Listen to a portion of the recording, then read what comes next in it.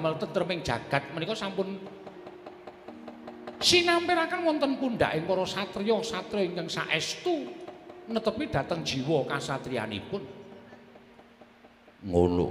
Inggih. Mila anggen paduka lampah tapa brata menika tumrap panjenengan sae. Tumrap Kakang Kumbakarna menika prayogi nanging kula sewu, tumrap kewajibaning kasatriyan menika dipun anggep lirwa dhateng jiwaning kasatriyan Kakang Kumbakarna. Oh, rasa. Awan, awan. Oh.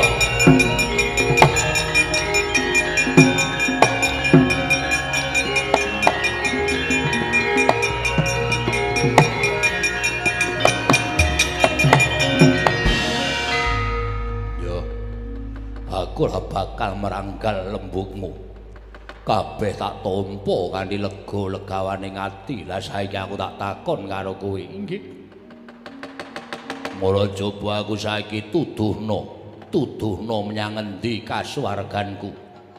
Kasuwarganipun Kakang Mas menika kedah tumimbal lair malih wonten ing jagat Lho, tumimbal lair meneh ning jagat inggih. Kedah manjing dhateng angganipun titah ing ngateteken ati suci pepayung budi rahayu jiwaning satriya tama ingkang tansah nengenaken dhateng kewajibaning kasatriyan. Menika srana anggen paduka nyaur dhateng utangipun Kakang Mas Kumbakarna. Ngono. Inggih. Yen pancen kaya ngono sapa ingkang wajib dadi suwarganing Kumbakarna? Wonten satra ing ngedeng lelana wonten ing wana Duryapura. Satriyanipun gagah pideksa godhek wok simbar jojo. Naminipun Raden Werkudara inggih menika calon kasuwarganipun Kakang Kumbakarna. Jaluk pamit Gunawan. Oh. oh.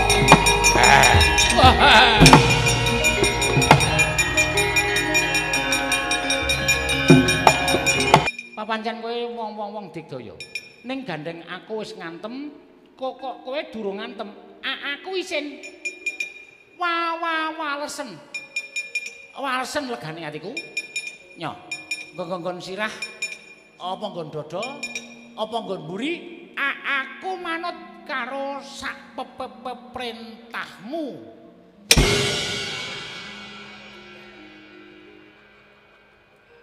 I i innalillahi wa wa wa inna ilaihi rajiun. Tutut dongake ya, Man. Iya, Raden Citraksi.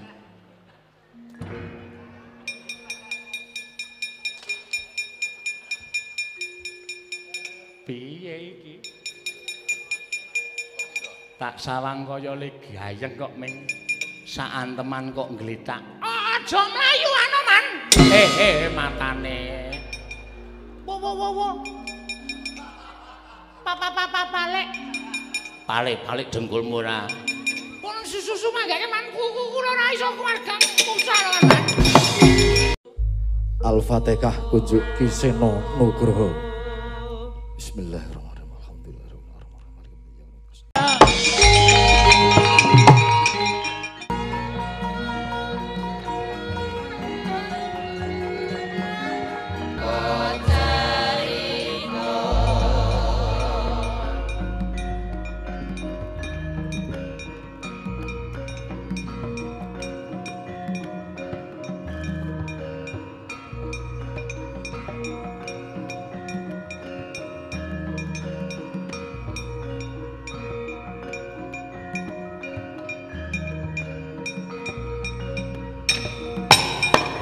Wonten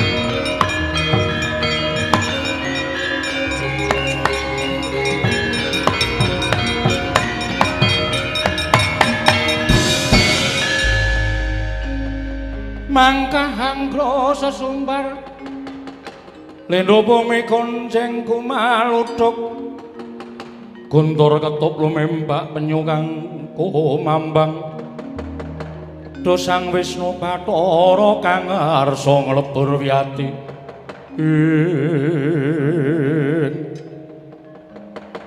Karno. Adikku cah bagus. Adikku wong gagah Kumba Karno. Ana dawuhmu apa, Kakang? Ngelimpe lawan pun Kakang arep ninggal tawang gantungan. Jenggilang jenggileng. Golek-golek papan iso metu saka tawang gantungan. Sirmu piye? Kakang Rahwana.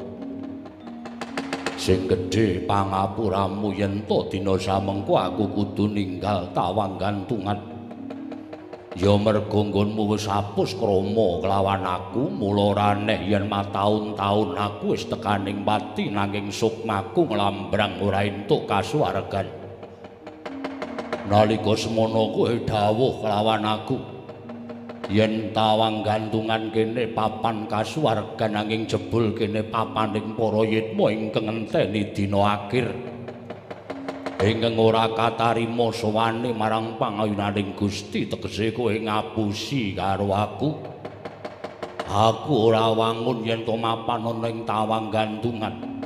Aku kudu golek kasuwargan aku kudu golek ya kuwi papan kanggo cumondhok sukmaku Kakang Rahwana.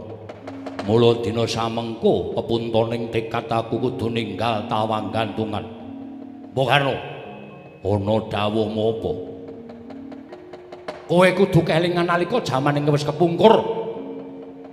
Kowe dadi senopati ana negara Ngalengka diraja belani lawan pun Kakang mangreh para wanara balaning Rama Wijaya. Nadyan siadi tekaning pati mula ora aneh. Yen to sukmaning siadi kudu kumpul karo pun kakang kuwi rak penemumu nanging penemuku ora ngono. Merga tumrapaku dalaning wong mati kuwi dhewe-dhewe kowe duwe dalan dhewe aku duwe dalan dhewe. Nadyan ana ing jagat aku klebu adimu nanging nuwun sewu kakang wiwit biyen tekan saiki aku ora tau cocok karo caramu nggonmu mangreh para kawula. Kowe dadi pangareping kawula dadi nalindra ingkang dak siya marang kawulamu. Kowe tansah anggunggung awakmu dhewe turta kasinungan watak angkara budi candala. Wis marambah makaping-kaping nggonku ngemutake kelawan kowe nanging kowe ora maelu. Mula ora aneh yen to sedamu sukmamu lambrang ana ing tawang gantungan.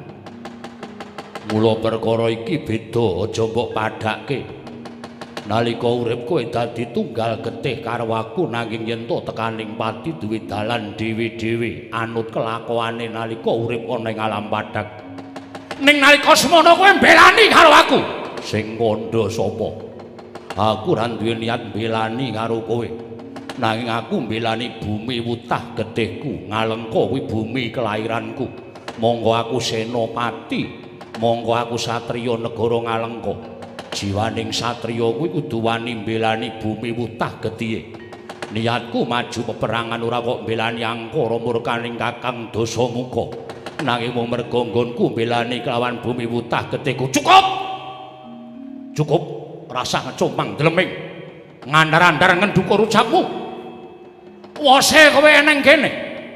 Yen kakang dasamuka jenak eneng kene. Ndaturi nyekecake lenggah. Aku tak golek dalan kasuwargan dhewe kakang. Kowe kudu neng kene. Aku njaluk pamit. Eh kumbakarna kumbakarna ah wah wah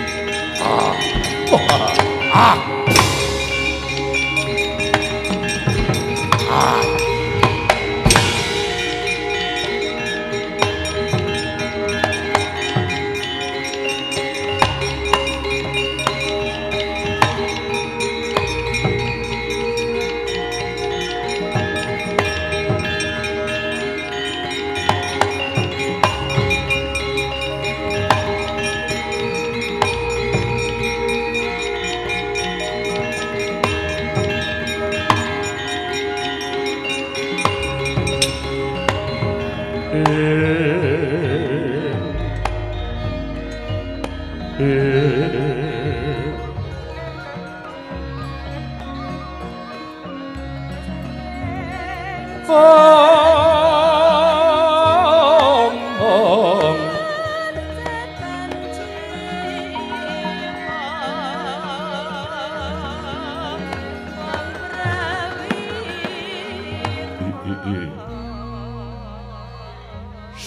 nggonku mlaku golek papan sarta golek pituduh kasuwarganku. Ana wujuding wong wadon ing ngendhek laku ning kumbakarna kowe sapa? Hmm?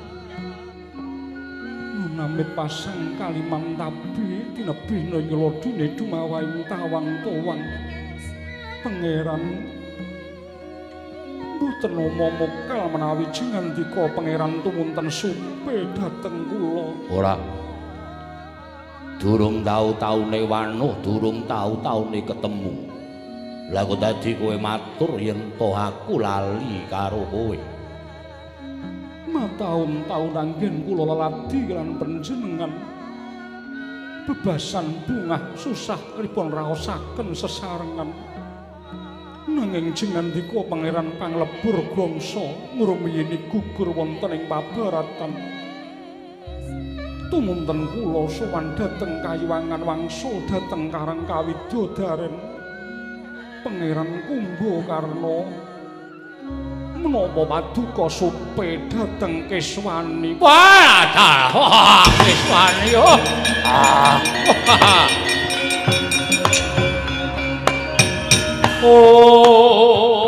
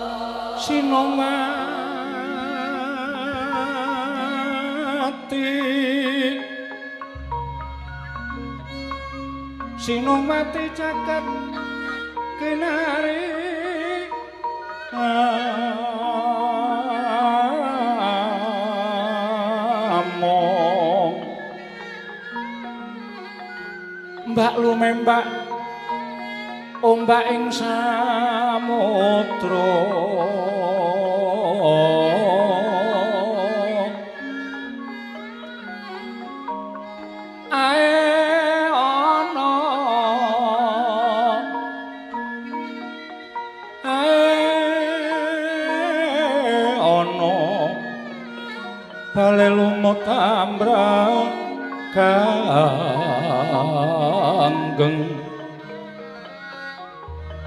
awito denceng dencengan. Oh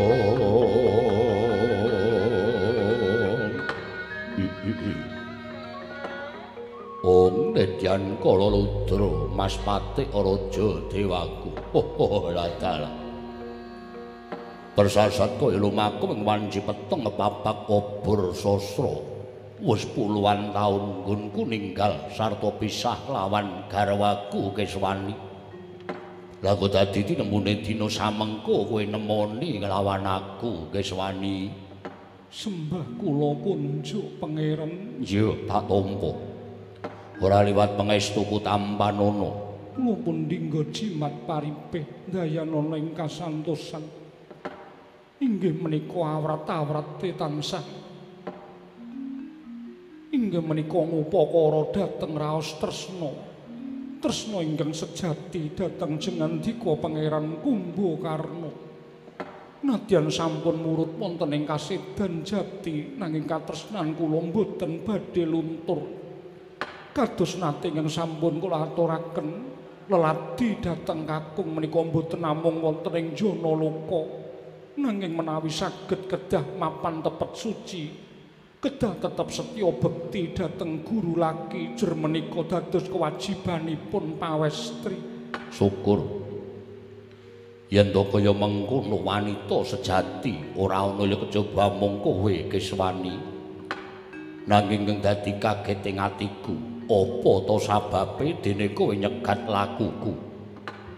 Raos gumun tuwin gadhahi raos panalongsa ingkang lebet sak lebeting manah. Dene jengandika pangeran Kumbakarna ingga sepriki katingal tasih montang manting.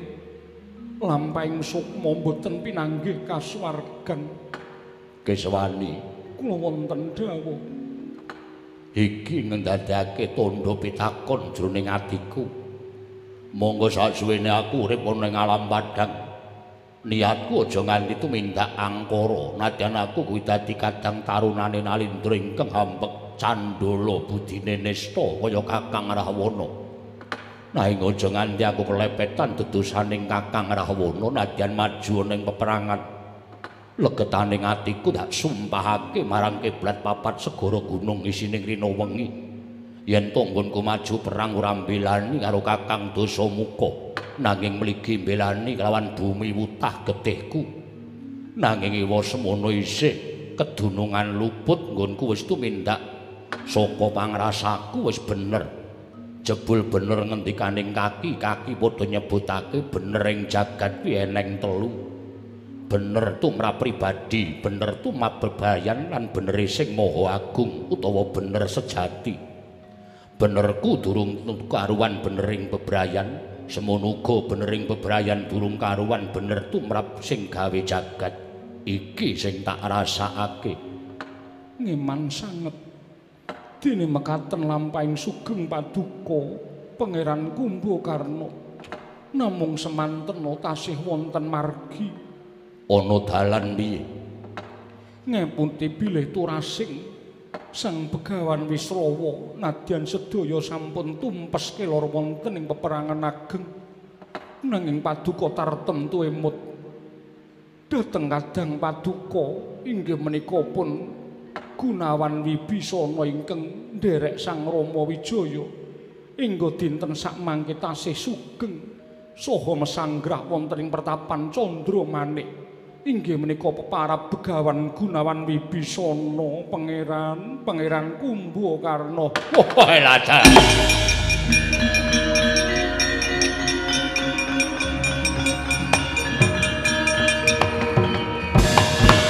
Kutha Pandhawa tata Katiwisraya Indriyaksa Sara Maruta Ih, lada. Oh, oh, Gunawan, Gunawan kowe isih urip tekan seprene. dulur-dulur wis padha tekaning pati nanging isih katon diparingi yuswa panjang karo sing gawe jagat. Geswani kowe baliya nang kayangan netepana kalawan kewajibaning kawidodaren Ikhlasno aku bakal golek kasuwargan sarana aku tak nyuwun priksa karo adhiku lanang Gunawan ana ing pertapan Candramanik Muga-muga ndang entuk dalan nggonku entuk kasuwargan iki keswane aku njaluk pamit cahayu. Oh. Ah. Ah.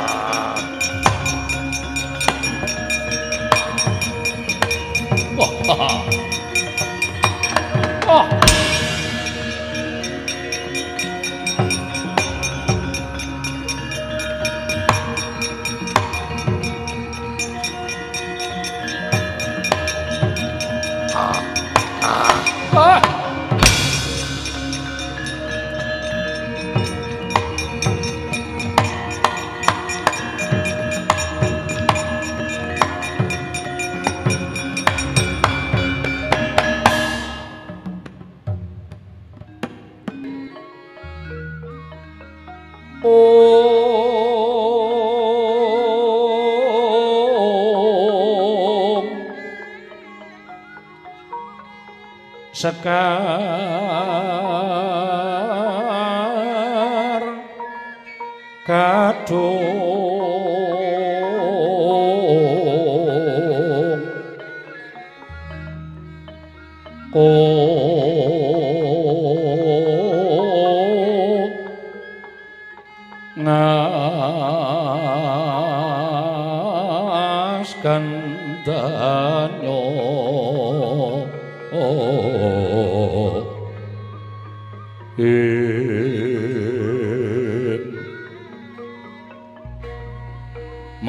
raras renaning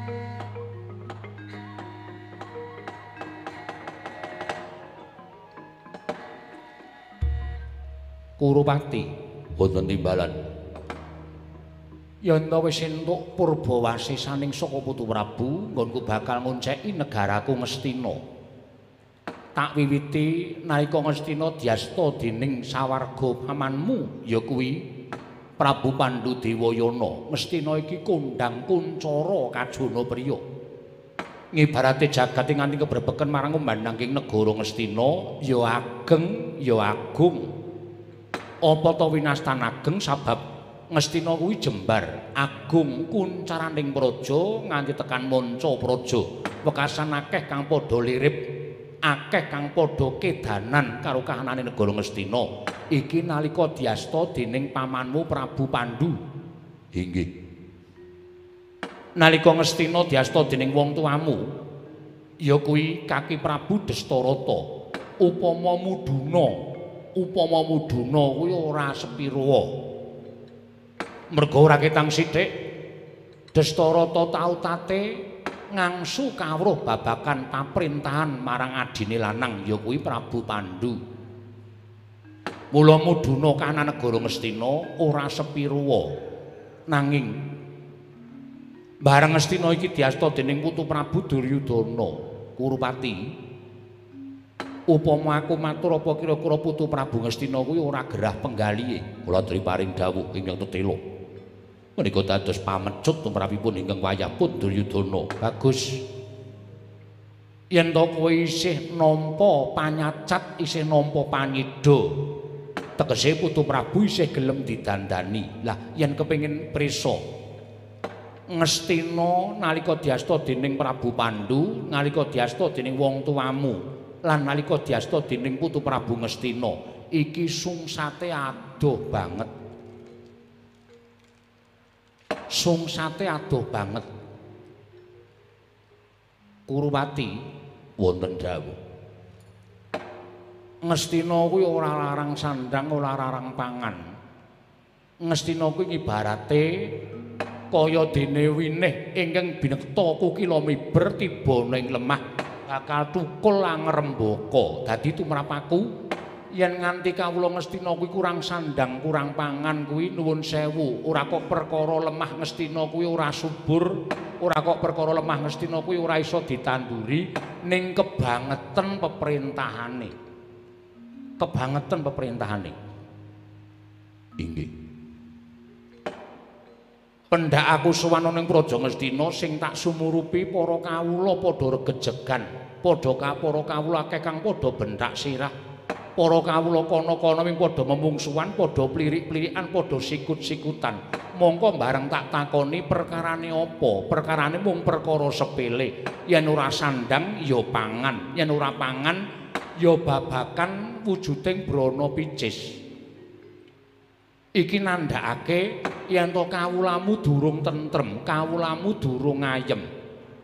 Mongko bola bali eyangmu ngetal kandha wis paring dawuh kelawan sira putu Prabu Kurupati, patang perkara nggih.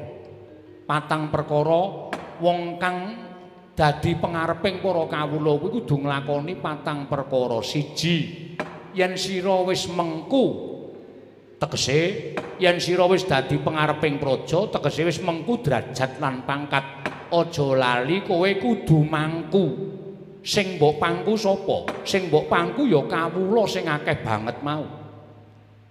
Kowe kudu saguh mangku marang para kawula. Yen wis bisa mangku kowe dadi ya pangareping praja sing bisa momot. Momot kuwi apa?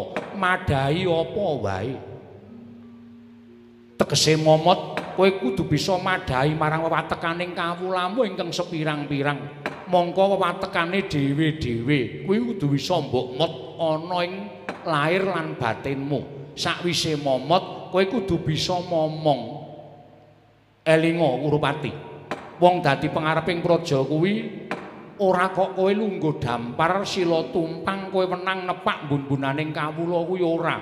Ning kowe dadi pamomonging para kawula apa kekarepaning kawula sak bisa-bisa mbok turuti yen patang perkara ya kuwi mengku yen wis mengku mangku yen wis mangku momot yen wis momot kowe dah bisa momong kuwi tok lakoni kawulamu ora ting slebar ora karu-karuan kaya ngene iki kawulamu ora bakal kekurangan, kawulamu ora bakal kecingkrangan. Iki angka siji.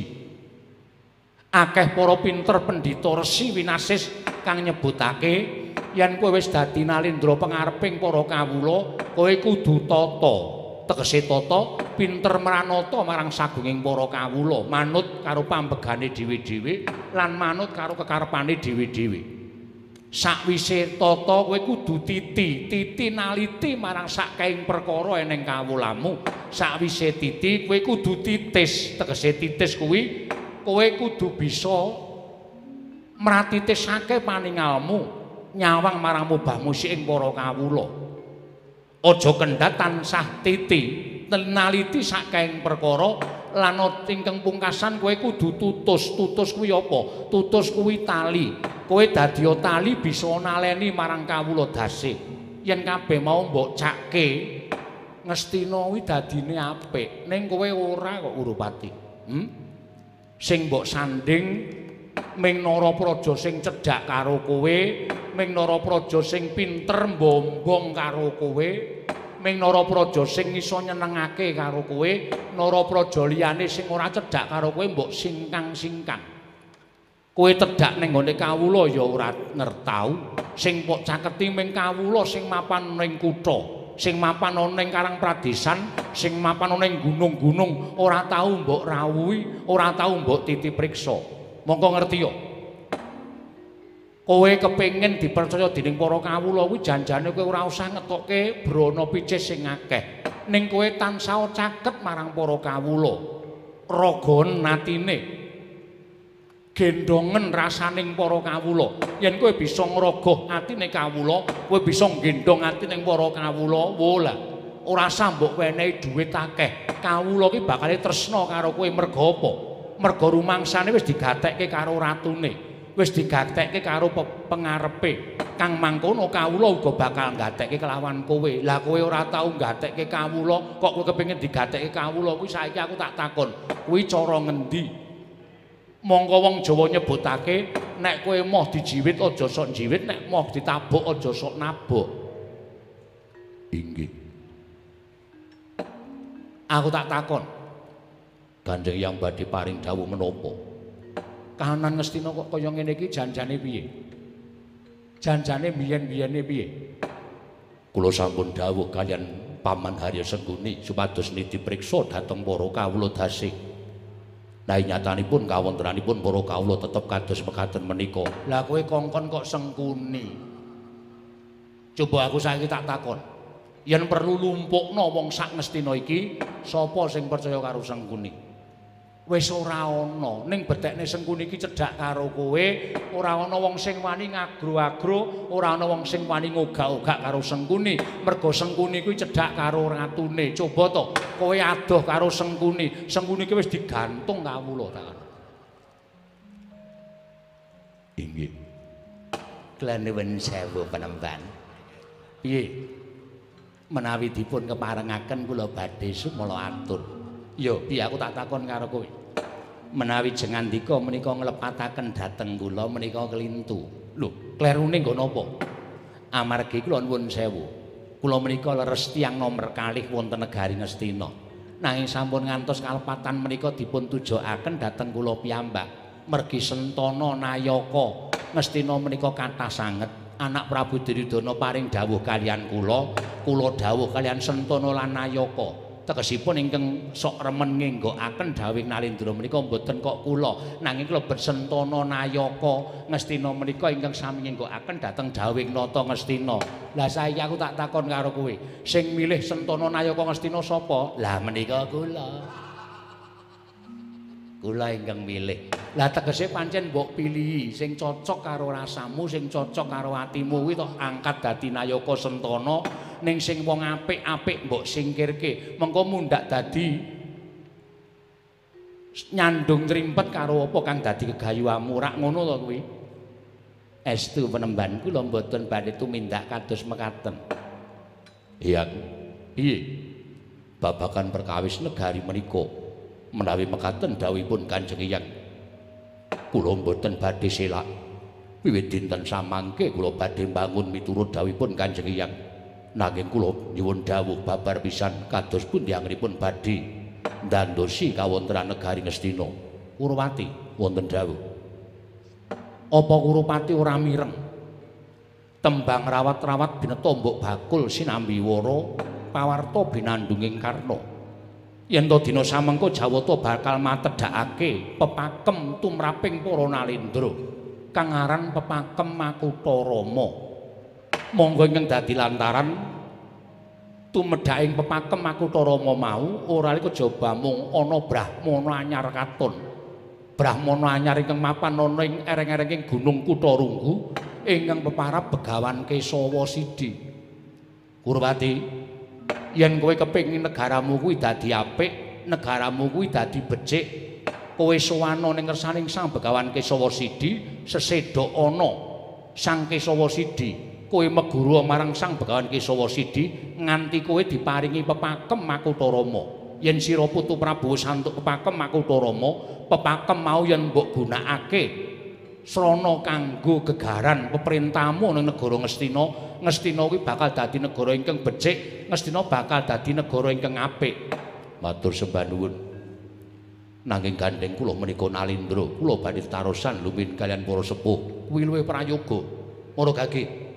Sapa kira-kira sing ora sarujuk yen to sira putu Prabu gayuh pepakem Makutha Rama? Paman Haryo. Wonten dawuh. Menggah pemanggipun Paman Sengkuni kados pundi? Sanesipun rumiyin nggih. Kula wingking piyambak kemawon. Boduna. Oh, wonten timbalan ngadhawuh nggih. Menggah pemanggipun Bapa ing Sukalima kados pundi anggen menapa kula kedah gayuh pepakem Makutha Rama? Lole, lole kentos walu gimbal. Monyor-monyor duk ning kula lontat jelas salah dadi men raja bolang-baling. Menika ngaten nggih, Nger. Menawi dados dawuhipun Sang Mahatma Resiwara Bisma menika pranyata sawetunggiling brahmana ingkang awas paningalipun titis pangandikanipun. Mila ingkang Bapa ing Sukalima menawi dados dawuhipun Sang Mahatma Resiwara Bisma menika saenipun paduka anak Prabu Duryudana anyendikanana Tumunten mandhap saking dampar bidal wonten ing areng-arenging Gunung Kutarunggu. Sowan Sang Begawan Kesawa Sidi ing wigatos nyuwun pepakem Makutha Rama. Kula nuwun mampunten, Ger. Menapa sampun dados dawuhipun Sang Mahatma Siwara Bisma. Menika nyata kepara saestu. Jejering Nalindra Paduka menika kedah tanggel jawab babakan sae lan botenipun negaring Ngastina. Menawi Paduka Anak Prabu negaring Ngastina menika dados praja ingkang ageng tur inggih agung Kuncoro Hanjayeng Bawana inggih kedah ginakaken pemerintahan kanthi gegaran pemakem Makutha Rama menika kala wau. Kosik. Kakang Duna, pripun Dik Pate? Sampeyan kok teteh babakan pepakem Rama niku wis ngerti sadurunge napa ngertos merga saking pengendikanipun Sang Mahatmi Mahatma Resi Wara Bisma. Lho, kula pun ngerti sadurunge. Nek ngerti sadurunge kok ora paring pangandikan. Mung ngenteni sabdaning Sang Mahatma Resi Wara Bisma. Oh, kula ajrih kalian wisesaning Praja Ngastina. Wisesaning Nalindra Ngastina. Menawi ngantos kula ngrumini dawuhipun anak Prabu Duryudana, dosa napa sing kula sandhang? Eh, nek ngonten sampeyan wis pono babakan pepakem Makutha Rama pun. Pepakem Makutha Rama menika menapa? Pepakem pewarah. Kagem sinten kemawon ingkang ngasta bawat perintahaning praja. Ginakaken pepakem menika kala wau. Makutha Rama. Makutha Rama niku tegese Makutha menika sandangan ingkang diagem wonten ing mestaka. Lho. Menika Makutha Rama. Rama menika bapak. Dados Makutha Rama menika nuwun sewu, menika Wahyu Pecis. Wahyu Pecis senengane kok ming ngawur lho. Sampeyan iku nek omong nuwun nek paring pangandikan kok ming sakepenake dhewe. Mawi ingkang Bapak Sukalima sarujuk kemawon nggih, sarujuk kemawon. Kakang Prabu Karno. Ya iya. Mboten namung bar pisan dhateng pangandikanipun Bapak Durna menawi cara kula menika lampah ingkang prayogi. Ingkang sampun dipun ngendikaken saking Eyang Begawan Bisma. Yai Prabu kedah nyendikani menawi dados dawuhipun Sang Begawan Dewa Brata. Paman Haryo. Wonten dawuh nggih. Kandun sekandika Paman Sengkuni. Kula kedah kados pundi? Kula nuwun sewu. Menawi tiyang sami nyebat wonten wahyu, wonten kanugrahan ingkang kedah dipun gayuh menika kula nuwun sewu. Menawi cara sengkuni, kula menika mboten nate pitados kaliyan ingkang nami wahyu, mboten nate pitados kaliyan ingkang nami kanugrahan. Mekaten. Nggih, nggih. Paduka menika sampun dados nalindra. Cara ngginakaken pemerintahan kados menapa menika wonten ing pangwaos paduka. Badhe ngginakaken pemerintahan cara paduka anak Prabu menika wonten ing purba wasisanipun anak Prabu Ngastina. Nek cara kula lho, menapa mboten saru ing atase panjenengan menika nalindra gung binatara. Ing atasipun paduka menika nalindra kuncara. Sinten ingkang mboten tepang kalian nalindra Ngastina Prabu Duryudana. Lah kok lajeng sesedokan nyembah dramaipun pendhita ingkang nembe kemawon mesanggrah wonten ing Gunung Kutarunggu menawi cara kula menapa mboten damel lingsem kula nyuwun mapunten lenggir menika namung pamrayogi kemawon paduka menika sampun mboten kirang menapa kemawon. Derajat pangkat sampun rinegem bebasan dengan dika menika ngakahi jagat kemawon saged kelampahan. Bondo donya sampun tumpuk mati timbun-timbun mboten badhe telas pitung turunan. Lajeng ginanipun menapa kok dadak ketayalan golek wahyu golek pepakem. Menawi cara kula panjenengan ing gadahi pangawas wetah tumraping negari Ngastina. Pemerintahan Paduka menika ingkang dipun estokaken dening para kawula. Perwara kawula niku kepenak menapa mboten menika namung pambudidayanipun kawula piyambak-piyambak. Lah nek panjenengan kudu nanggung uripe kawula sak negara kaya ngeten iki, sinten ingkang badhe kapintunan namung panjenengan piyambak. Panjenengan menika sampun blobo lumo, sampun paring dedono menapa kemawon dhateng para kawula. Ya mung kawula ngestina menika menawi tumrap kula ingkang kedah dipun lepataken. Wis diparingi apa-apa ora digunakake kanthi becik ora digunakake kanthi apik. Nuwun sewu.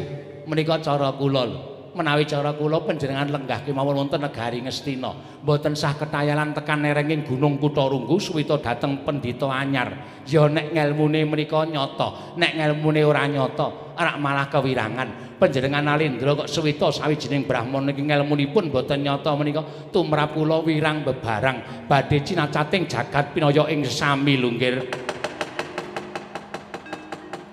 Kagat risang kapirangu. Rinanggul kinembet kembet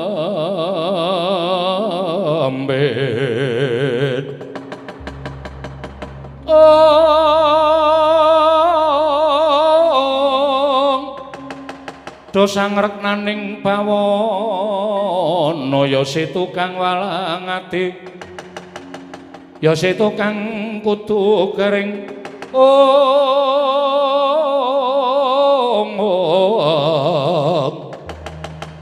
ya tukang sing das ing ong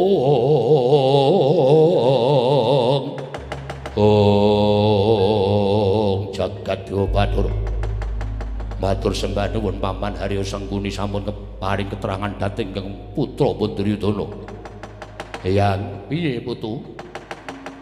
Ngemuti dhateng menawi sampun dipun ngendikaken paman Haryo Sengkuni tumrap kula nyuwun pangapunten menawi kula kedah badal dawuhipun Kanjeng Hyang Mahatmur Siwara Bisma.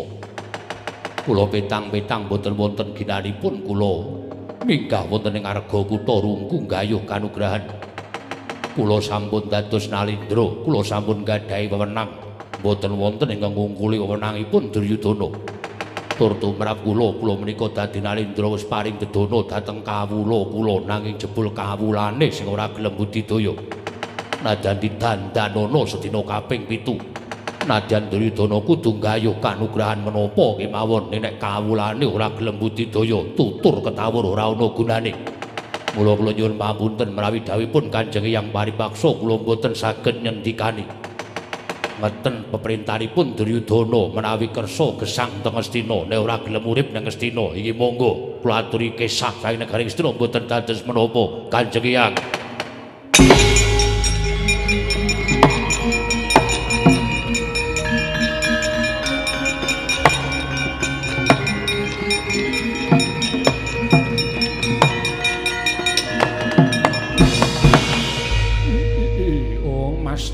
sidam sekaring bawana langgeng.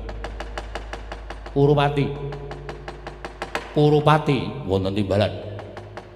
Ngerti kaya ngene kang dadi wuwusing tembungmu, aku mau ora bakal akeh-akeh nggonku nuturi marang kowe. Satemene nggone pun yang sowan ana negara Ngastina mau pancen tak jarak aku pengen tutur-tutur aku pengen dandan-dandan negara Ngastina. Nanging jebul pengarepe Ngastina wis wegah nampa warah nampik pitutur becik. Kowe takon gayuh pepakem aku Tarama kuwi ada bebaran peperintahanmu wae kowe ora sagup. Wangune ucaping Begawan Bisma wis kalah mandi karo ucaping Patih Sengkuni. Ya wis ora apa-apa Kurupati. Ora dadi ngopo. Yen ngono wis ora ana gunane nggonku dandan-dandan negara Ngastina. Wis ora ana gunane nggonku kepengin dandani kahanan negara Ngastina merga nalindrane wis ora iso didandani. Sekecakne nggonmu lenggah. Yen kowe ora gelem gegayuh pepakem Makutha Rama, tak etungi telung kedheping paningalku yen Ngastina ora ambruk aja dundang Begawan Bisma pangandhane.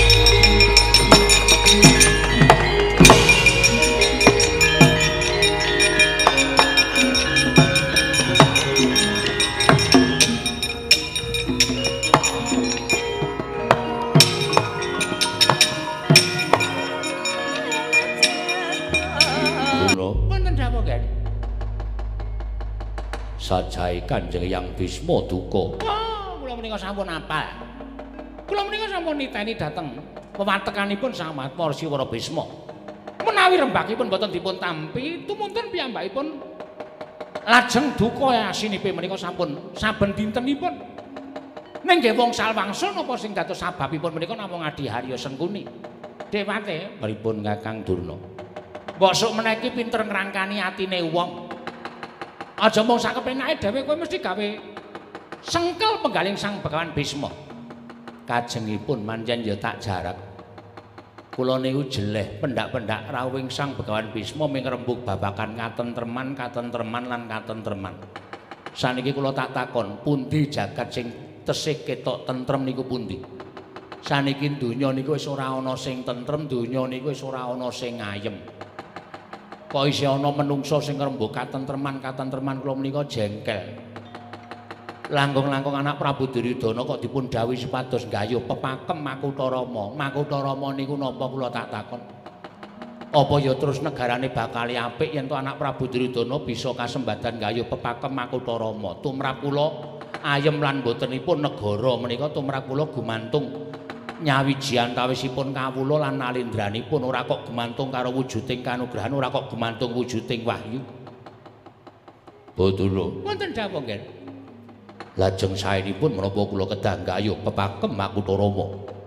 Upawi mekaten kula boten badhe sudi menawi kula kedah dados santripun Kesawa Sidi ing mesanggrah wonten ing ereng-erenging Gunung Kutarunggu. Kula boten badhe purun menawi kedah kula dados cantrik derajat kula nalindra kok kula kok nyembah karo wujuding pendhita kula rasuti. Ha nggih. Kula nyuwun iku pertikelipun Bapak Penembaduna. Oh, samenika ngaten kemawon. Sampun ngantos ngandika anak Prabu ingkang budal dados santripun Kesawa Sidi menika. Nanging panjenengan kedah utusan dhateng satunggiling nayaka utawi sentara negaring Astina.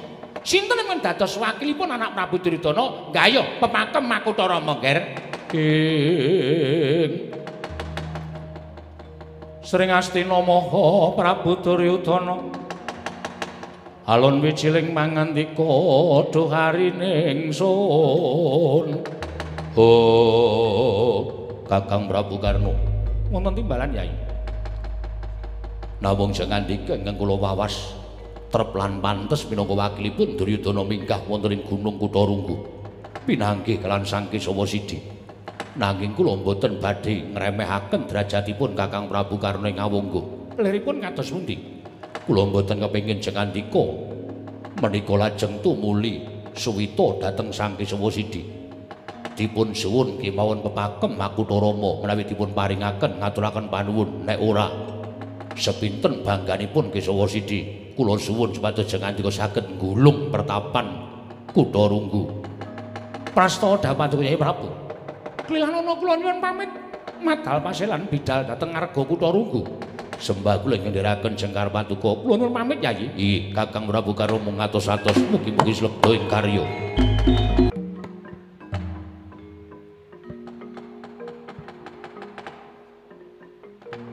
Oh Mas Tunama sidam sekaring bawana langgeng I i i. Anoman sawetara nggonmu ngadhep ana ing pertapan Kutarunggu padha rarja sak praptamu Anoman. Tansah pinanunganing kawidadan niring sambi kala premban. Kepareng kula ngaturaken sembah pangabekti kula kunjuk. Iya ya senggana ndak tampa ora liwat pangestuku tampanana. Kula pun dinggo jimat paribih dayanana ing kasantosan. Namung ngendadosaken gawuk raos ing manah. Sakadhahing para cantrik ing samya mangarsa mangersa paduka penemban teka namung ing ngabdipun anoman ingkang ka caketaken pisuwanipun kepareng kula cemadhong dawuh. Ya mung isih sangga runggi kang dadi penggalihku anoman ngerti yo lamun jagat iki wis wanuh kelawan senggana yen to sira iku sawijining brahmana ning pertapan kendali sada. Mongko nggonmu dadi brahmana kuwi wis mataun-taun yen perlu mangabat-abat nggonmu urip ana ing kendali sada mesti wis tuwuk ndahar gempalaning jagat legiasi ning kap kahanan babakan kabrahmanan nanging kena ngopo lah kok dadi sira isih suwita marang Kesawa Sidi Aku kuwi mung pandhita gunung. Kurang pangerten sarta ngelmu upama ditanding kalawan Anoman mesti wae isih adoh sungsate. Nanging apa kang mbok upadi dene kowe suwita marang Kesawa Sidi? Nyun mahapunten Premban. Tumraping ngabdi pun senggono. Inggilan cethek ing ngelmu satunggiling brahmana menika boten wonten pundi piyambakipun cumanduk.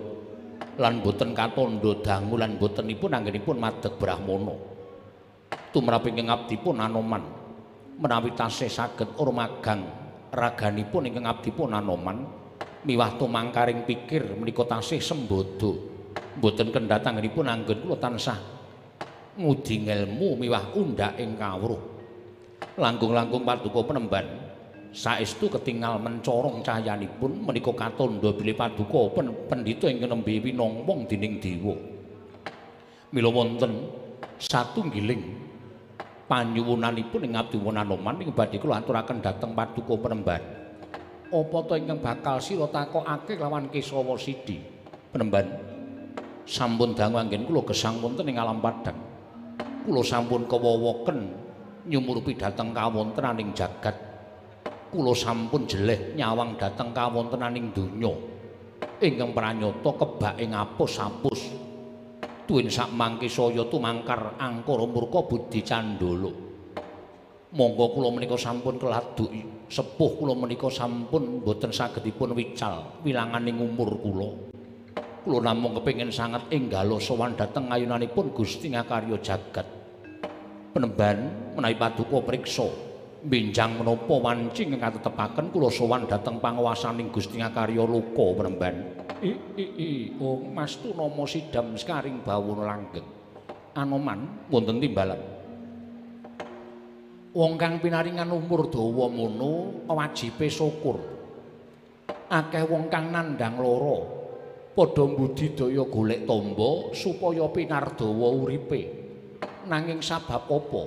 Gusti paring nugraha marang Anoman pinaringan umur dawa, teka sira malah gresula kepengin ninggal tekaning pati. Monggo wong kang urip ning alam padang ngono yen to kebak panggresula, yekti uripe bak ora bakal tinampa dening panguwasaning dat kang murweng dat. Senggono yen to sira takon babakan pati uripmu kelawan Kesawa Sidi, aku ora bakal wani ngaturake sabab yen to aku menehi tandha-tandha besok kapan ngono bakal sowan marang ngayunaning Gusti. Ateges padha karo aku ngungkuli marang panguwasaning sing moho luka. Mula ingkang sangka kuwi senggana nggonmu pinaringan umur dawa mau tansah ngucap syukur. Akeh wong kang pinaringan umur cendhak wae padha kepingin umur dawa. Lah kok dadi kowe pinaringan umur dawa teko malah gresula kepingin ninggal tekaning pati. Yen ngono kowe ora nyukuri lawan uripmu dhewe senggana.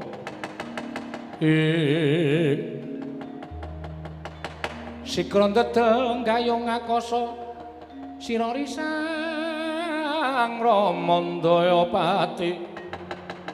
Om.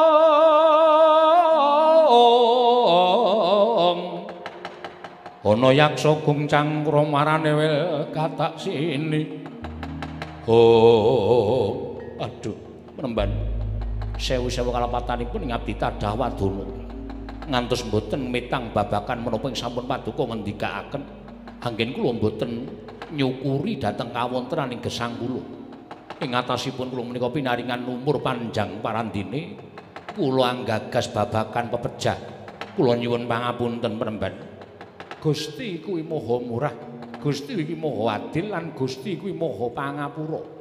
Yen ana panalongsa jroning atimu ingkang kandhas tekaning batin kan wurunga Gusti tertentu prisa kang mangkono bakal gedhe pangapuraning Hyang Mahanasa ngaturaken panuwun ingkang tanpa pepindhan. Senggana wonten paring dawuh. Gandeng iki wanci beduk monggo aku kudu ngaturake panembah kelawan panguwasaning dat kang murping dat sarana manembah ing wanci beduk mongko dina samengko kutha runggu bakal ketekan dayuh ingkang nedya ampiak awur-awur nedya ngiri godha kelawan kasutapaning Kesawa Sidi petukna ladenana dayuhku iki aja nganti gawe gelo senggana ngestakaken dawuh penemban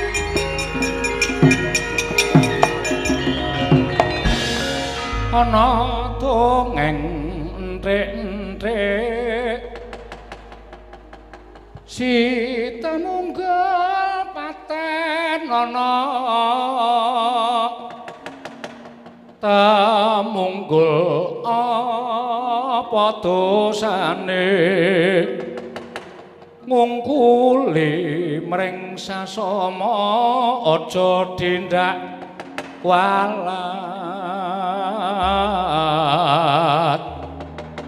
Lah iya bener kandamu. Lali sumber ketiwasan. Ora panglik. Putih memplak. Iki anoman. Dasar kepara nyata iki ora pangling para sata kurawa dampyak-dampyak munggah ana ing arga kutha runggu ye senggono ana marang apa kang dadi perlemu dene kowe mapan ning pertapan kutha runggu dadi siswaning begawan Kesawa Sidi. Ing atase kowe pendhita, wis mataun-taun cemondhok ning Kendali Sodo. Lah kok dadi kowe malah suwita marang pendhita gunung ingkang durung karuan ngelmune, ora sah kokean gunung sing tanpa gunung. Mula saiki tak takoni Kurawa tekan Kutha Runggu bakal duwe gawe apa? Sowan Sang Kesawa Sidi wigatine nyuwun pepakem Makutha Rama. Yen pancen Sang Tawa Bedawan Kesawa Sidi ora ngeparengake Kurawa sowan ning pertapan Kutha Runggu. apa kakon tak gulung pertapan kutha runggu yen perlu tak pateni sing aran Kesawa Sidi Anoman malumpat sampun prapteng witing naga sari Mulat mangandhap katingal wanudya yukura aking ho ngecumang deleming ngandar-andar ngendukur kemewat ucapmu kaya wong regem jimat keparat kaya wani ndirat persiabang kowe ngame-ame sedaning Sang Begawan Kisawa Sidi konangan cantrike Anoman. Langkung tak gulungi genderamu tak babati gamanmu. Wah, wani haru Kurawa sing tawedene apa? Ora minggat ngarep paming Kartomarmu tebak dalam kene marganing patimu Singolena prapting lalis Kartomarmu.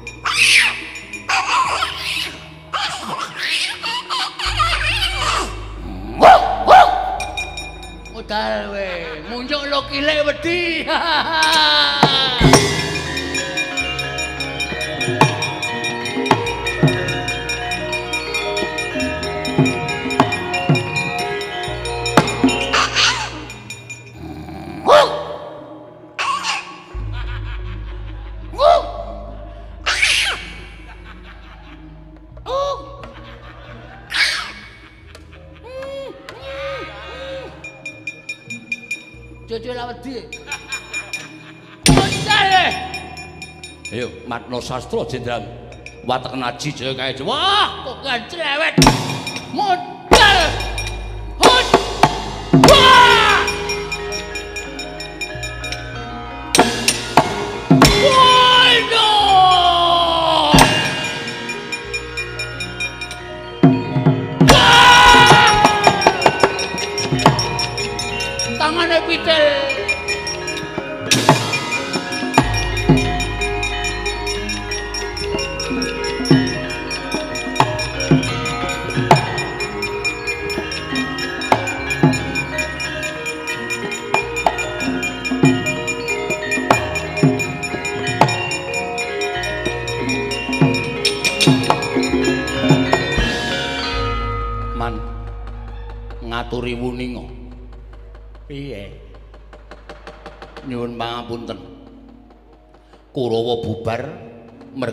cantrik-cantrik kutha Runggu menika mboten namung kawula lumrah. Lho, sapa? Sapa sing wani mbubarke Kurawa? Hmm? Sapa sing wani mbubarke Kurawa ki sapa?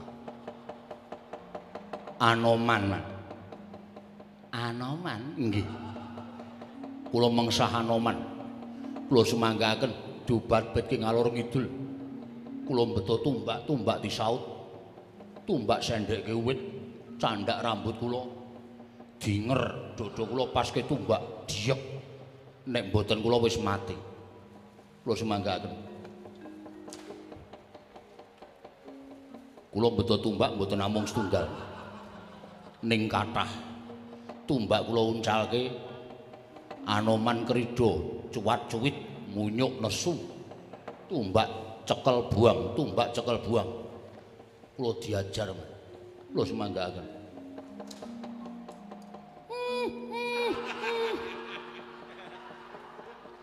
Kowe ngapa, Edur? Lekane ajeng maju. Heeh. Kula belone Anoman ceng maju kula blubut. Ngadepi Anoman. Anoman ketemu kali kula terus dheweke niku mele-mele Anoman. Cuy, cuy, cuy. Kula bingung, untune putih-putih ketok kabeh. Terus kula njegok kaya kilik. Munyuke mlayu. Suwe ning suwe munyuk niku mboten wedi kilik. Ha kuwi tandane nek kowe ora tau ngerti ledek kethek. Kowe wis tau ngerti urung? Nanggap ledek kethek kae munyuke numpak kire. Maca. Heeh. Dadi nek munyuk ki ora wedi karo kirik malah kadang kala sok kekancan. Lho kuwi lho, apike kewan ki nang kono kuwi.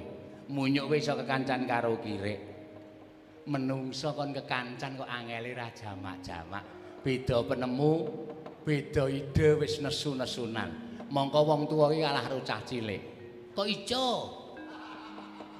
Cah cilik kae nadyan tutuk-tutukan watu ning ora ret 5 menit do dolanan meneh. Nek wong tuwa iki kepengkok swara sithik kowe neng-nengan tetaunan.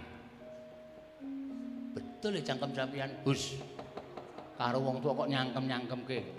Maju meneh. Mboten kalah kula punan. Nyuci manggaken man. Wah, Lah ngerti nek mungsuhe Anoman, mungsuhe Anoman ha trimo bali kula. Nggo ngopo teng kutha Lungguh malah nglekoso. Sapa Kurawa sing arep njajal Anoman? Watak, watak. Citraksi Piye man? arep maju perang po? Momong mungsuhe sinten? Anoman. Wah, mumu-munyuk ra tata. Anoman munyuk kuku kula menungsa nek nganti menungsa kalah karo munyuk niku i i isin. Mumula kula ajeng maju. Rene nek omongan ora ning jero kotak. Nggih, Man.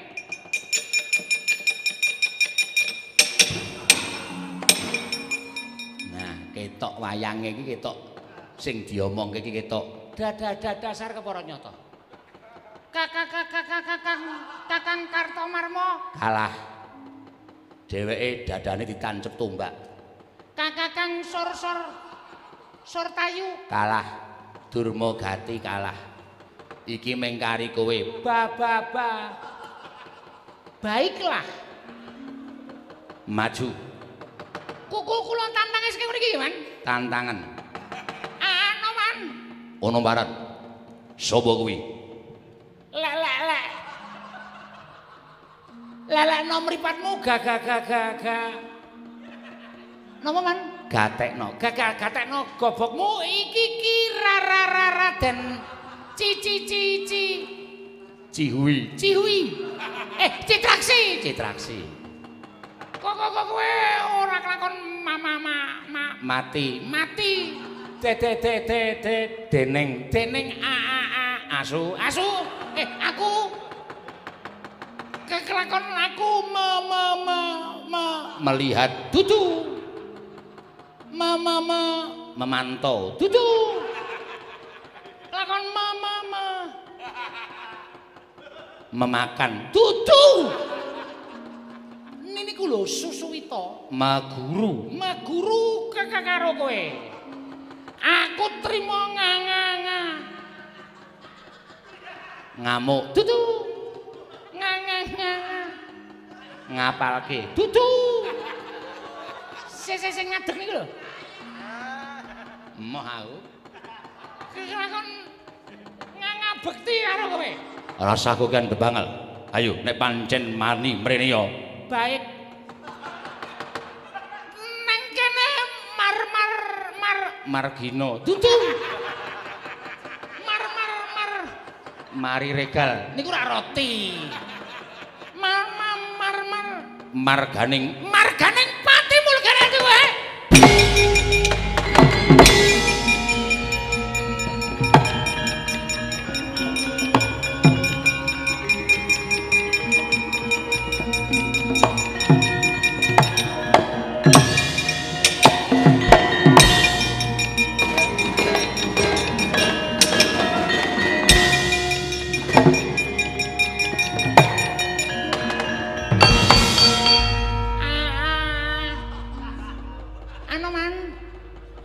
Raden Citraksi. I i i iya. Edan. Kok kok kok kowe iki wis wis tuwa. Iya. Wis dadi pendhita pipi pipi pirang-pirang tata tata taun. Umurmu wis pi pirang atus teta taun. Ning ning kok wuwu-wulumu isih apik. Oh, obate apa man? Kowe kirene arep perang apa takon obat? Memeng takon. Diupakara. Babu, Lho. Diupakara kok babu.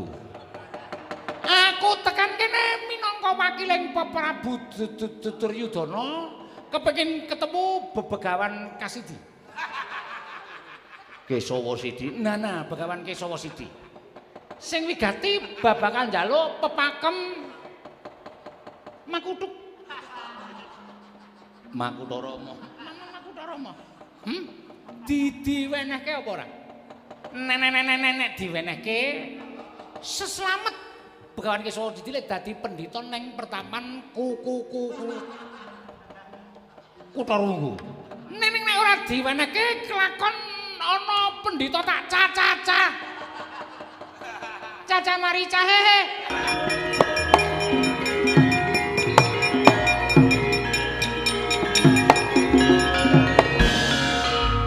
Pripun Maman? Kurawa menika sampun adat saben kok nggih. Ngedhabiah kok ancacah ngrebdo tanpa guna. Nadyan kathah parandiri boten saged mungkasi karya amargi ingkang dados bebeteng ing Kesawa Sidi menika pandhita ing Kendali Sada pun anoman. Lho. Senggana inggih. Weh ta. Nggugu karepe dhewe. Saking panginten kula menawi anak Prabu Ngawangga menika namung ginakaken rasaning raga, tuwin kasektening raga mboten badhe saged ngrampungi karya. Saenipun dipun tegeli. Tegesipun ngados pundi? Ngliga pusaka ingkang ampuh. Anoman dipun pejahi babar pisan Begawan Kesawa Sidi dipun sirnakaken kemawon. Ing Capengarna mawingis-wingis katon lenandheping Trisula. mawa meru ngapira oh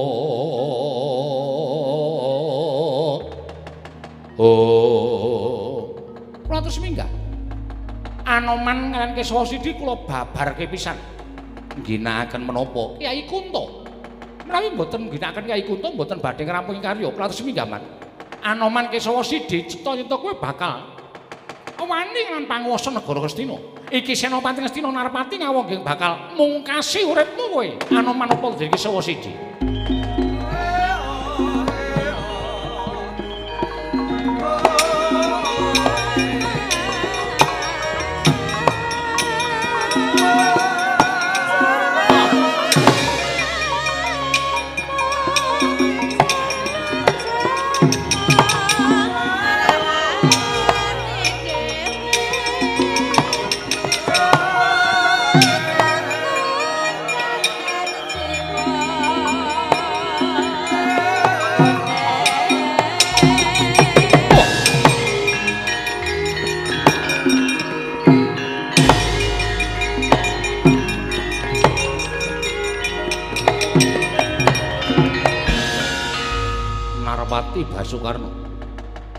Jumbuh karo Kanalindran sarta Kasenopatening Narpati ngawonggo. Durung babak kulite durung putung balunge lah kok nibake pusaka Kyai Kunto. Yen tak tamani dodo mesti aku bakal tekaning pati, mongko tak waspadakake. Playuning Kunto ngener ning pertapan Kutha Runggu. Tanurung oming bakal gawe cintrakaning pepundhenku Begawan Kisawa Sidi. Aja aluk kelangan tak saut mbuh dadine Narpati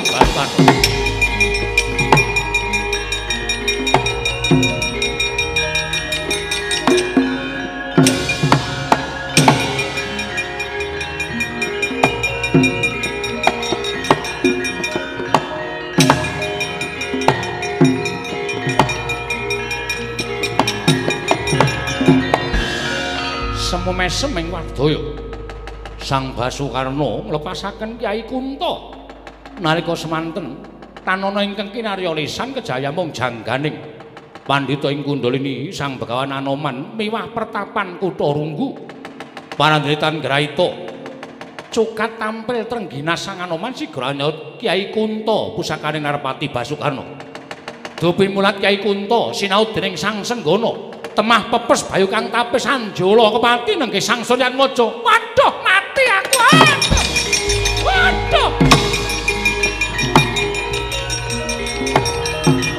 waduh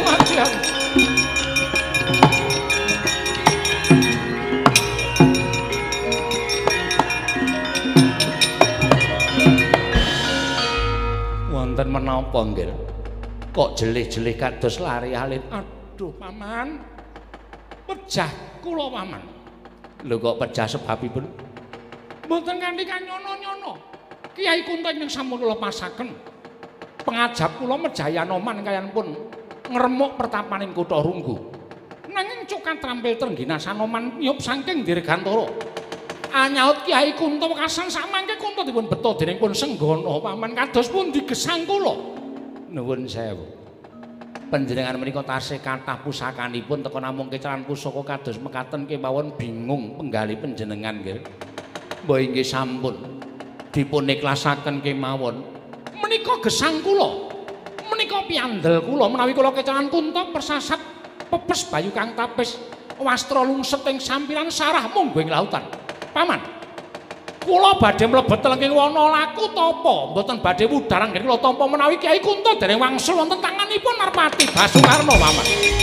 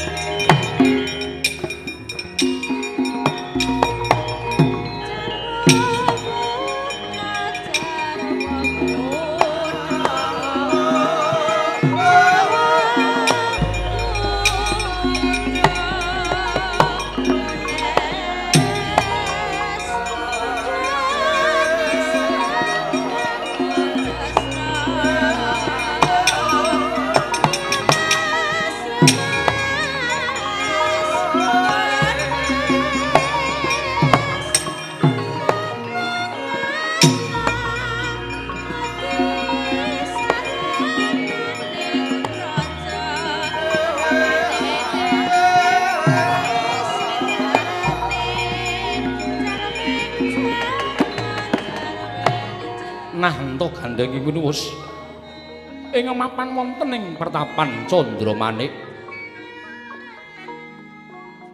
Sinten ingkang madhepok wonten ing pertapan Candramanik menika ta warnane tilas nalindring ngalengka saksuruting Prabu Dasamuka.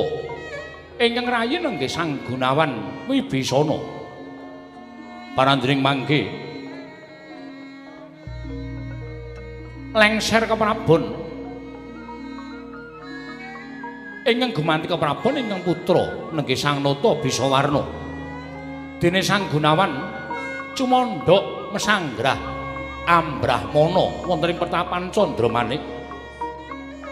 Wau to kocap kaya wis entuk sasmitaning dewa.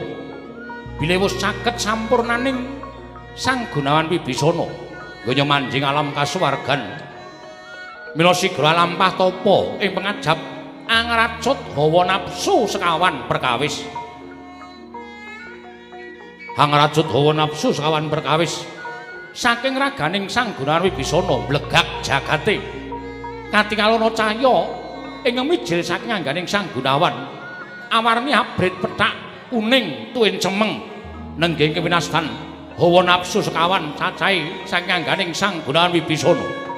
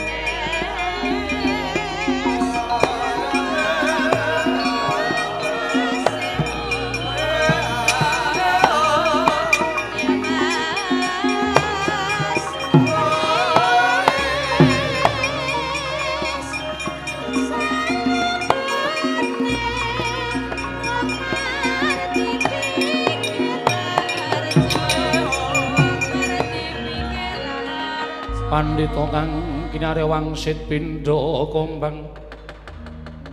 Pindha kombang ngajaping tawang. Ong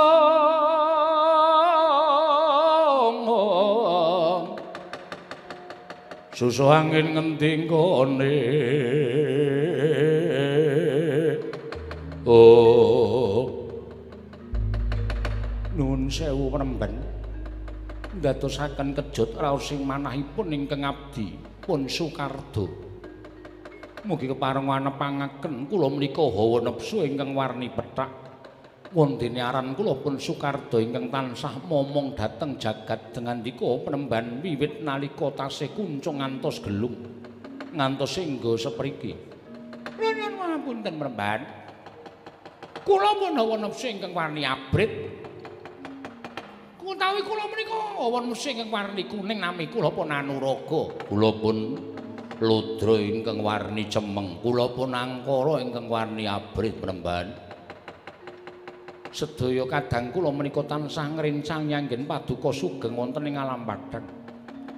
Kula warni pethak ingkang tansah netepi dhateng sucining penggalih paduka nanging ugi wonten bab ingkang boten prayogi.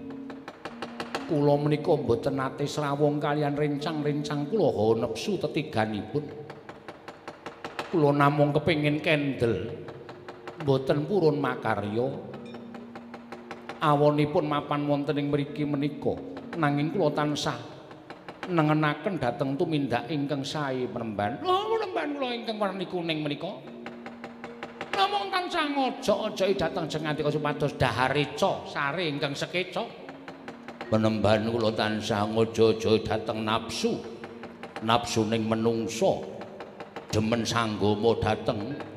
Sesaminipun titah eh penemban kula tansah ngojo-ojo dhateng pakarti ingkang angkara murka budi candala Sukardo Anuraga Ludra lan Angkara ya. Aku wis ngerti. Nadyan sira ora nepungake nanging Gunawan wis bisa nggagapi lan wis bisa wanuh kelawan hawa nepsuku ingkang tansah ngancani aku wiwit aku lair nganti tekaning weh. Aku manjing ana ing alam kasuwargan. Inggih. Mula tapa to sababe dene sira tak kipatake mergo aja nganti ridu nggonku nggayuh kasuwargan jati. Aja nganti ridu nggonku tansah nggayuh kasampurnaning pati. Mula wektu dina iki aku ngaturake panuwun ingkang tanpa pepindhan. Dene sira hawa nepsu papat cacahe wis ngrewangi nggonku tansah ngembat abot entenge urip ana alam padhang. Ya mbuh bener mbuh luput kabeh mau dadi sandangane wong urip. Inggih, penemban. Mula kang sangka kuwi. Wektu dina iki wis wancine sira pisah kelawan Gunawan Wibisana. Golek dalan dhewe-dhewe nggone bali marang panguwasaning dat kampur pengdat. Aduh, lajeng dateng pundi anggen kula badhe pados margi supados saged wangsul dhateng panguwasaning Gusti. Manjing waras Duryapura. Mengko yen ana sawijining satriya ingkang bagus tanpa cacat gawaya teja pengawak tirta pamulu jenar kaya kencana sinanglik. Kuwi dalaning kasampurnanmu Sukardo Anuraga Ludra lan Angkara. Prasta dawuh paduka namung sewang-sewangan lampah mugi paduka penemban tansah pikantuk kasuwargan penemban. Ya, Sukardo. Anuraga Ludra lan Angkara.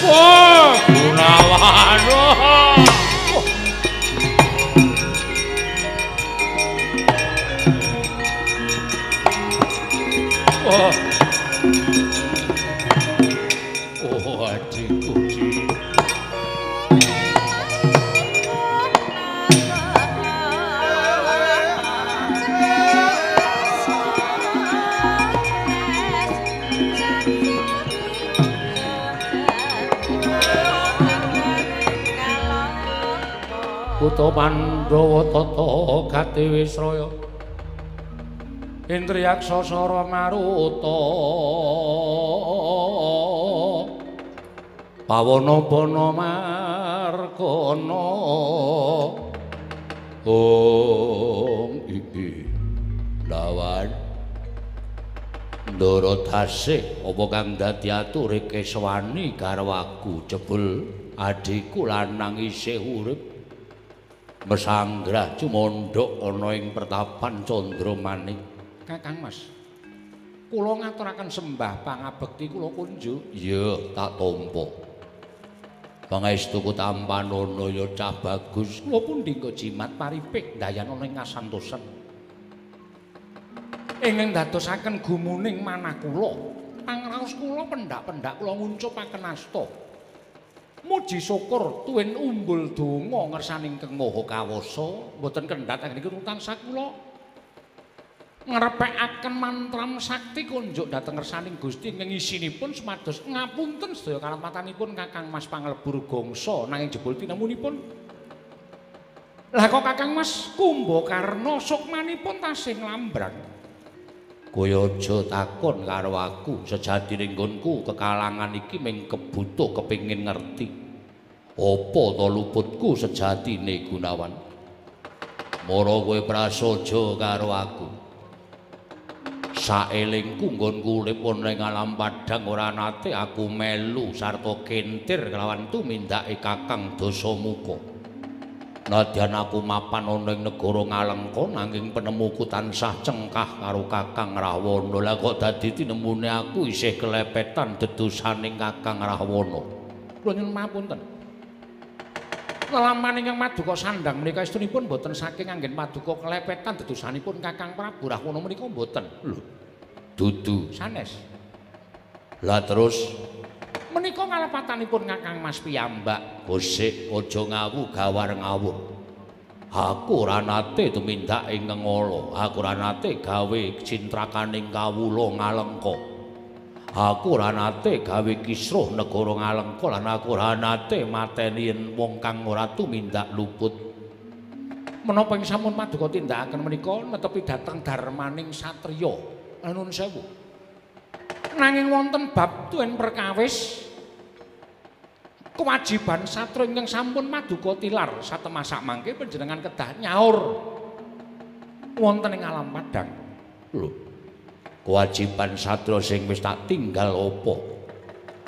Aku mbelani negara Ngalengka ora mbelani Kakang Rahwana. Inggih, sedaya sampun priksa menawi anggen paduka majeng wonten keperangan menika. Krana jengandika Kakang Mas menika mbelani dhateng bumi kelahiranipun Kakang Mas Kumbakarna. Menika sampun dados kewajibaning satriya. Satriyaning praja menika kedah wantun pejah andhepani bumi wutah getih menika sampun satrepipun. Namung nuwun sewu. Wonten kewajibanipun Kakang Kumbakarna ingkang dereng paduka lampahi. Kewajiban apa? Panjenengan boten nate kepengin melu dhateng kawontenan negari Ngalengka. Panjenengan boten kepengin melu dhateng kawontranipun kawula. Kakang Kumbakarna kula aturi emut. Anggen paduka lampah tapa persasat ngantos sasen-sasen manjingipun tetaunan. Mongko kawontenanipun Ngalengka tansah owah gigsir. Sakedap ayem, sakedap geger. Kathah gegeripun tinimbang ayemipun parandene Kakang Kumbakarna boten melu tansah alaku tapa nendra. Menika yen dadosaken paduka menika dipun anggep lirwa dhateng kewajiban kasatriyan. Jer kewajibaning kasatriyaning satriyaning praja menika kedah damel tentrem praja tuwin damel tentreming jagat menika sampun sinampiraken wonten pundhaking para satriya satriya ingkang saestu netepi dhateng jiwa kasatriyanipun. Ngono. Inggih. Mila anggen paduka lampah tapa brata menika tumrap panjenengan sae. Tumrap Kakang Kumbakarna menika prayogi nanging kula sewu, tumrap kewajibaning kasatriyan menika dipun anggep lirwa dhateng jiwaning kasatriyan Kakang Kumbakarna. Oh, rasa. Kawan, kawan. Oh.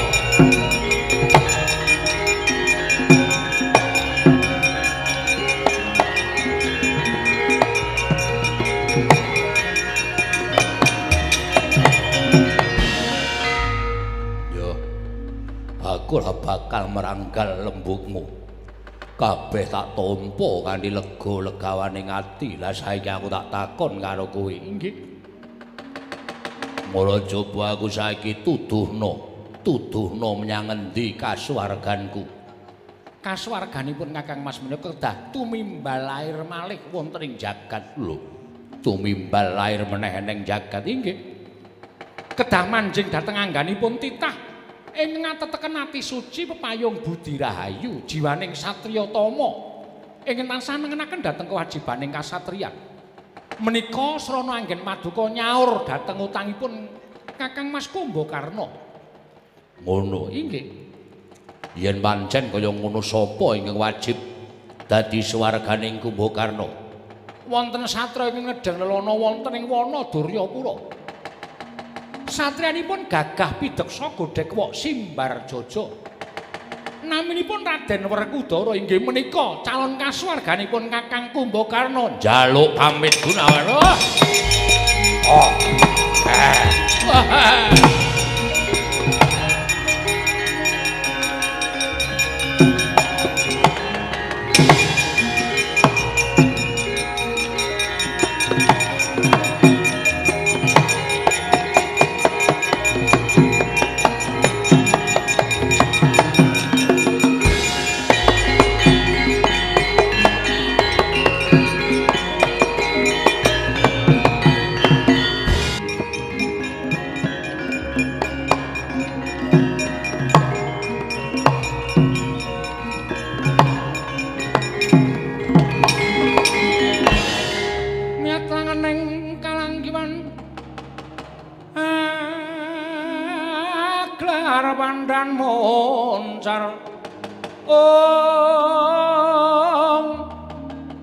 Tinon ler kakonang Surum sorotetan badang.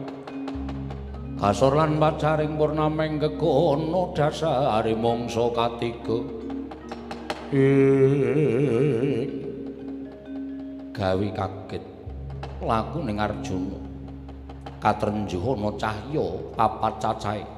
Ingkang dak sawang katon kaya wujuding menungsa nanging bareng tak kedhepake netraku bali wujud cahya meneh. Iki bangsaning apa nuwun sewu Raden. Kula ingkang mandhegani rencang kula tiga. Mila mboten lepat menapa sampun daduka ngendikaken bilih kula dumados saking hawa nepsu sekawan werni ingkang manjing ngangganipun titah. Wondene dinten sak mangke kula dipun kipataken. Dening bendara kula ingkang sampun mataun-taun gesang sesarengan miwah kula momong dhateng jagating bendara kula kala wau. Ingkang sak mangke badhe manjing wonten ing alam kasampurnat manjing anggayo kasuwargan. Duh Raden, dawuhipun Sang Pandhita ing Candramanik nalika semanten kula kedah wangsul dhateng panguwasaning Gusti.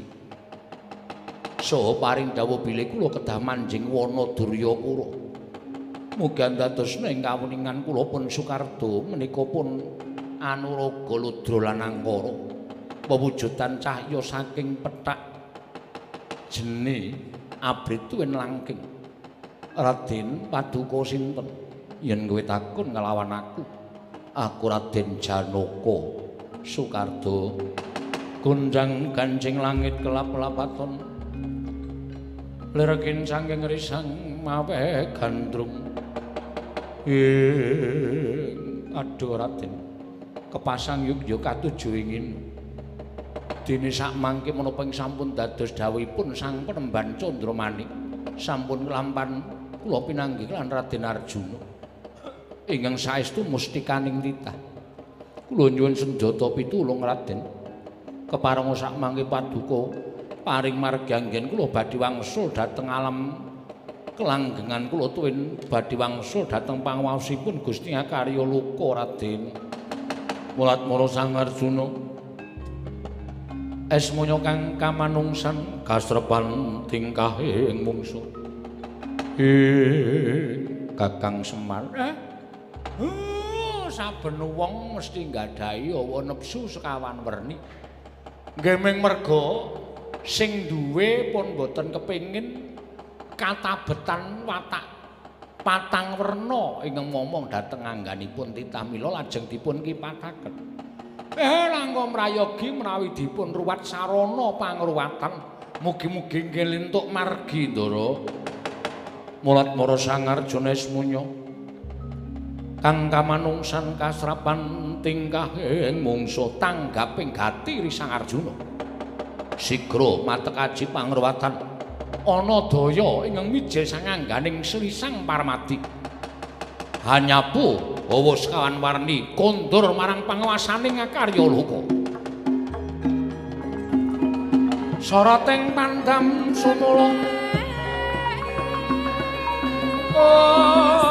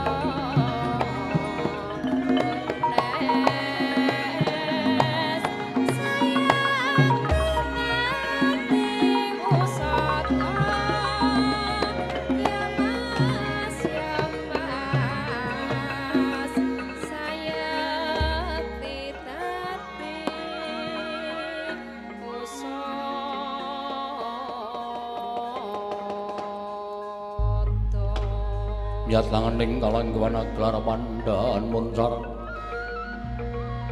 Tinon Lir kekonang surem sorot etan padang. Om Om. Senggono wonten maring adawu penemban Apa ingkang mbok lakoni mau sayekti katondo lamun sejatine sira iku wujuding brahmana nanging isih bisa katarungku marang mubal babaling nepsu. Ketitik nggonira gawe wirang narpati basukarna. Anoman wong kang wis madeg minangka brahmana mono sirik lamun gawe wiranging sapadha-padha sirik lamun gawe kacintranganing sak pepadaning urip. Menapa ingkang kula tindakaken penemban nggonmu nyidra kelawan pusakaning Narpati Basukarna Anoman. Yen pancen sira kuwi jiwaning brahmana ingkang darbe jiwa satriya aja kaya ngene tumindakmu. Nggonmu nyaut marang pusakaning Narpati Basukarna mau padha karo memirang kelawan jiwa kasatriyaning Narpati Basukarna ing ngangka loro katon banget. Yen to nadyan sira iki wis ambrahmana nanging isih duwe jiwa kasatriyan. Nanging jebul kasatriyanmu ora tandes tekaning batin. Krana sira ora wani napakake kridaning Kyai Kunto nanging malah mbok cidra mbok aturake marang Begawan Kesawa Sidi. Kanthi cara kaya mangkono mau sejatine pakarti licik pakarti ngembok tindakake mau dudu jiwaning kasatriyan nanging kowe nggunakake tumindak ingkang ora prayoga srana ngrebut pusakaning mungsuh. Kanthi mengkono anoman dadi jalaran nggonmu bakal saya suwe urip ana ing alam padang nggonmu ngenteni. Besok kapan tumekaning janji? Kabeh mau ya mung merga saka darbe keluputan wani ngrebut pusakaning Narpati Basukarna iki anoman. Gunjang kanjing langit kelap-lapaton lerkin sanging risang mawe gandrung. Ing waduh penemban lajeng menapa ing kedah kula tindakaken supados kula saged anebus dhateng kalepatan kula. Apa ingkang wis sira tindakake besok aja mbok baleni. Kanthi srana gentur tapa ana ing kendali sada gentur laku prihatin ana ing kendali sada netepi jiwaning brahmana. Muga-muga enggal cedhak dina janjimu kelawan ingkang gawe urip menawi kepaten ajeng dawuh paduka baliya marang kendali sada kaya wis titiwahyaning mangsa kala nyaketi kelawan kewajibanku nggonku bakal matedhakake kanugrahan senggono nyuwun pamit penemban sing ati-ati aja kaya bocah cilik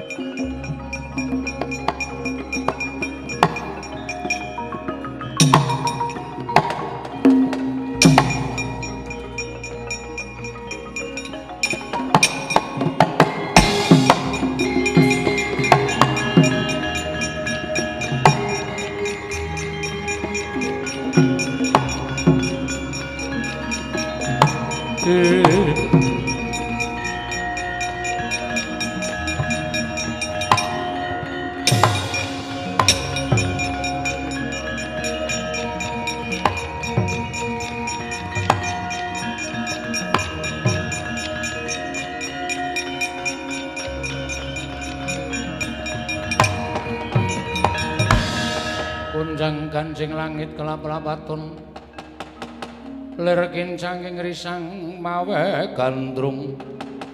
Ing nuwun sewu menika sinten? Ditepungake wae pandhita ing Candramanik Begawan Gunawan Wibisana. Oh maduka penemban Gunawan Wibisana iya pancen kepara nyata. Kowe sapa penemban kula pandhita ing kutha Runggu peparab Begawan Kesawa Sidi. Ngerti ya lamun laladan kutha Runggu kene iki wewengkon negara ing Singgela wewengkon negara ing Singgela Mula yen pancen kowe kepengin madheg Brahmana ing kutha Runggu kudu nyuwun dipalilaing ratu Gusti Newong Singgela ya kuwi Prabu Bisawarna. Gandeng Prabu Bisawarna kuwi atmajaku mongko aku duwe ke kewajiban kudu melu mranata marang para kawula. Mula kowe tak anggap luput. Ayo, kukuta lemu dadi Brahmana ning kutha Runggu. Kowe golek papan liyane. Nuwun sewu, penemban, sak ngertos kula Kutha Runggu menika kebawah keperintah negari Ngastina. Mila kula nyuwun pamunten menawi jengan dike nganundung dhateng kula, kula mboten badhe kesah. Lho. Kowe wani karo aku? Mboten badhe kula nyebar winiing memengsan kelan jengan dika penemban Gunawan Wibisana. Nanging kula nuwun sewu menawi jengan dika meksa dhateng kula, kula nyuwun pamunten paripaksa monggo sak kersa panjenengan kula ladosi penemban.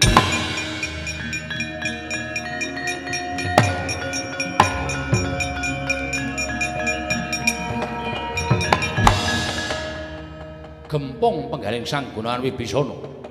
Ing cipta arsa ngrangsang sang Kesawa Sidi parandening mangke eling-eling pandhita buntas kawruh sithik paningalih sang Gunawan Wibisana diupi mulat sang Hyang Bathara sumaning lenggah. Wonten ing angganing sang Kesawa Sidi sida nglumpruk tanpa aduh penembang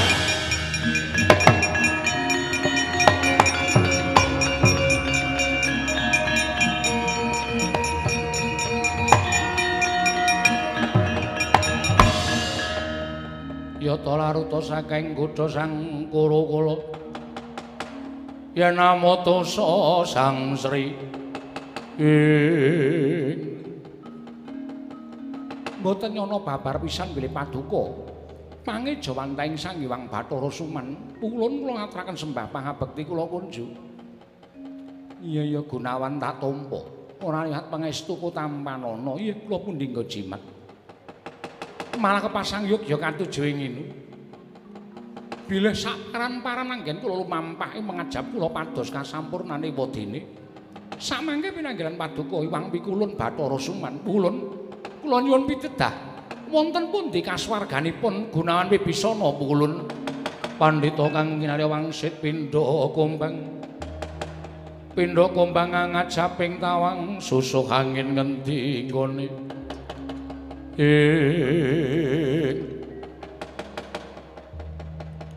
Yen no pancen kaya mengkono patrapa semedi. Jalaran Gusti tiwahyaning mangsa kala sira kudu manjing alam kelanggengan. Gunawan Wibisana ndak duduhi dalan ingkang prayoga Gunawan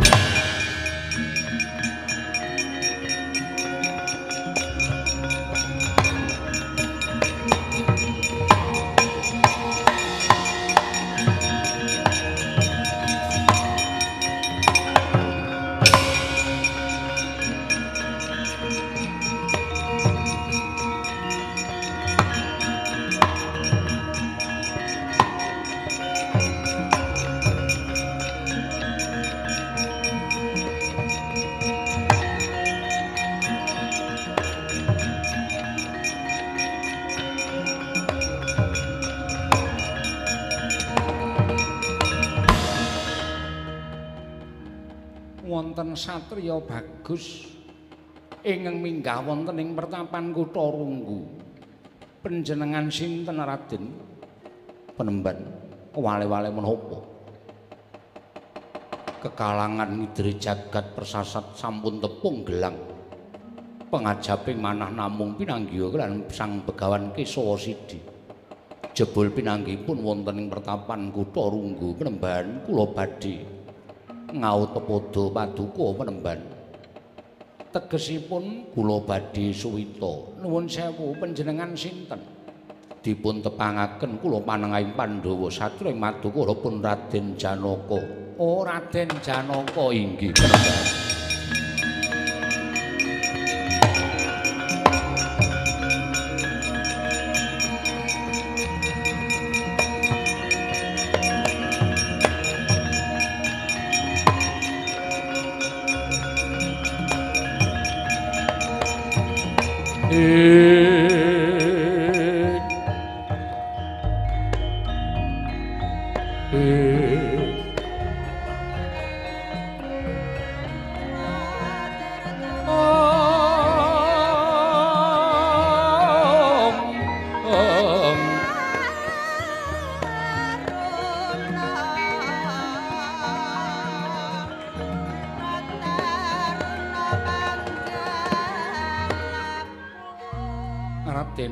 paduka ingkang kula upati paduka ingkang tansah gumana musik wonten ing manah kula. Lan sak mangke sampun titiwanci kula matedhakaken kinali rantaran tumedhak ing pepakem makutha rama. Mugi dados ing kawuningan menapa ta winastan pepakem makutha rama? Makutha menika agemaning nalindra rama menika sang marteng jagat Prabu Rama Wijaya ingkang kawasa ngratoni Triloka. Wondene pepakem menika kala wau ingkang sampun nate dipun jarwakaken dening Sang Nata Prabu Rama Wijaya dhateng rayinipun Prabu Barata inggih Raden Barata wondene pepakem menika kala wau wonten 8 cacahipun winastan Hasta Brata.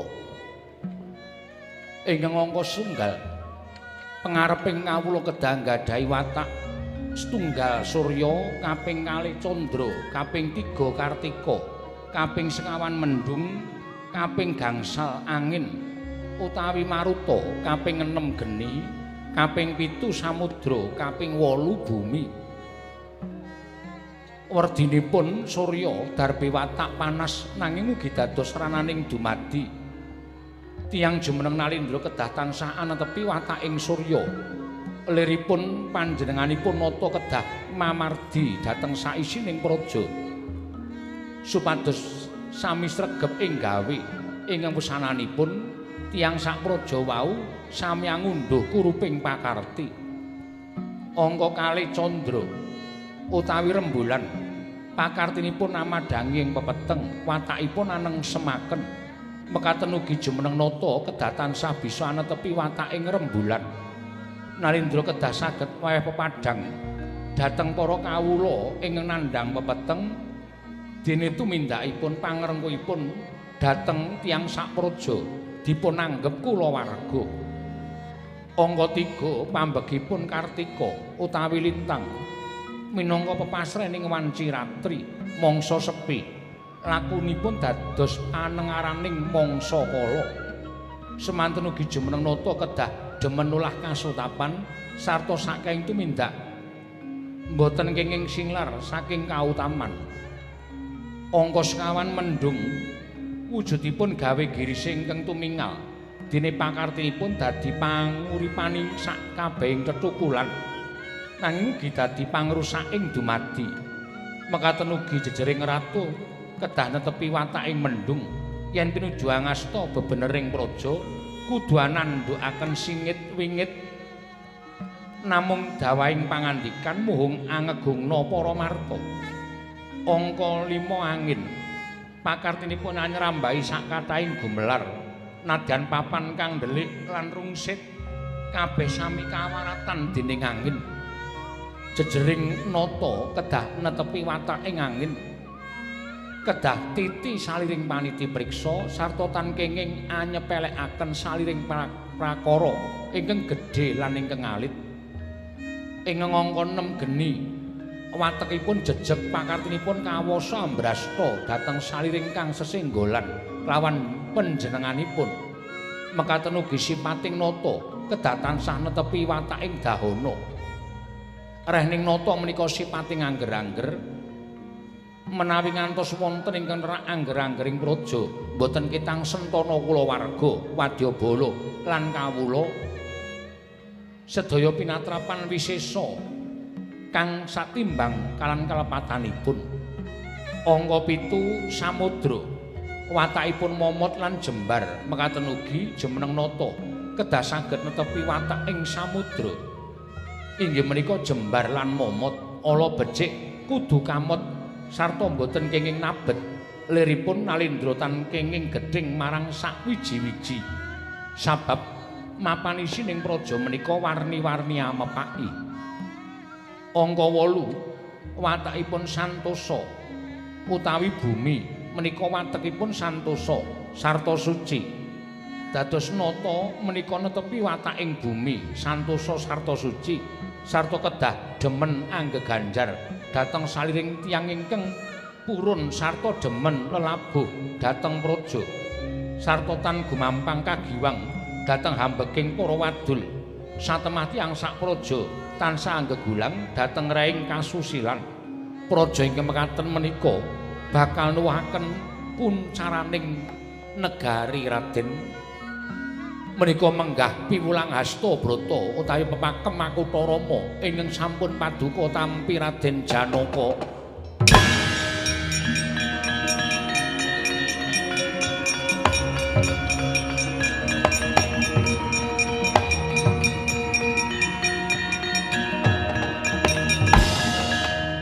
Ngaturaken panuwun ingkang tanpa pepindhan.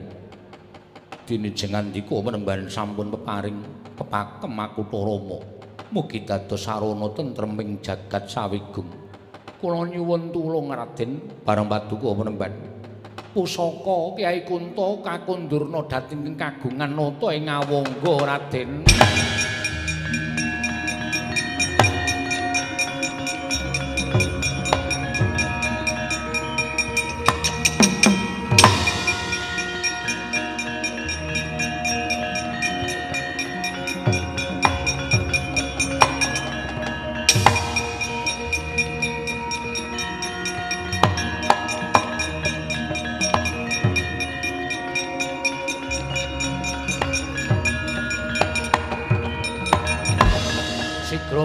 manjing pasemeden suci sang Kisawa Sidi.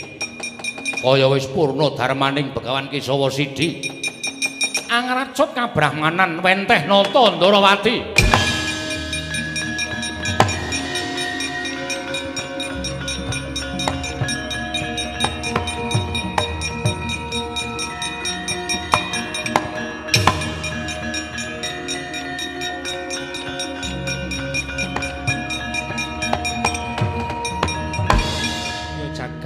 Bathara jagat pangestunggara. Arjuna ora tanggap lawan kahanan ya Yayi syukur pun ngakang melu seketi jumulung dene Syadi wis pikantuk pepakem makutha Rama Arjuna.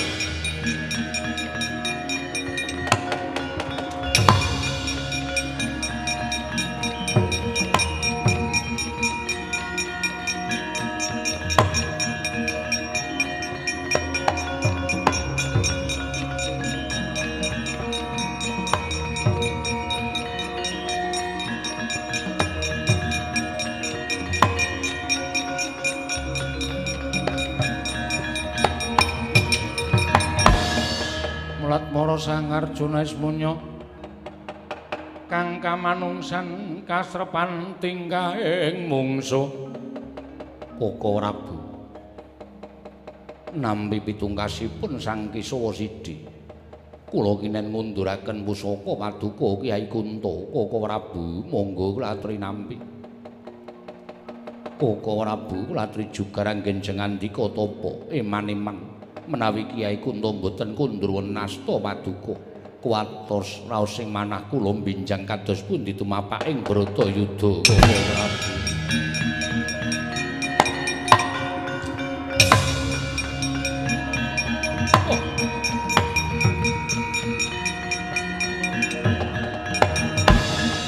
Jagat Dewa Bathara jagat pangestunggara welata Arjuna mbalekake pusaka tembungmu sithik nanging nyocok ana ing ati ya yayi tak enteni wahyaning mangsa kala janaka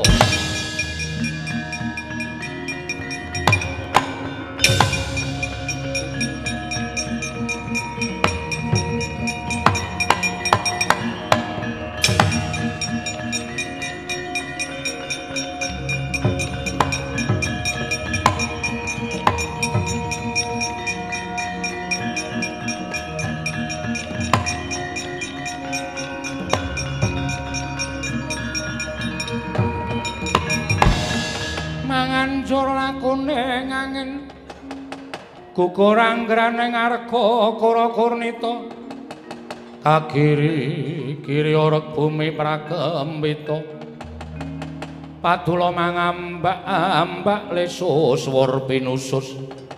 Ing. Jumeneng angger gancang. Nenggeri sang werkudara kinan angulari tindak ingkang rayeng madukara mapan wonten ing wana duryapura ingkang tumiyup saking dirgantara ing sang kumbhakar ah. Wah.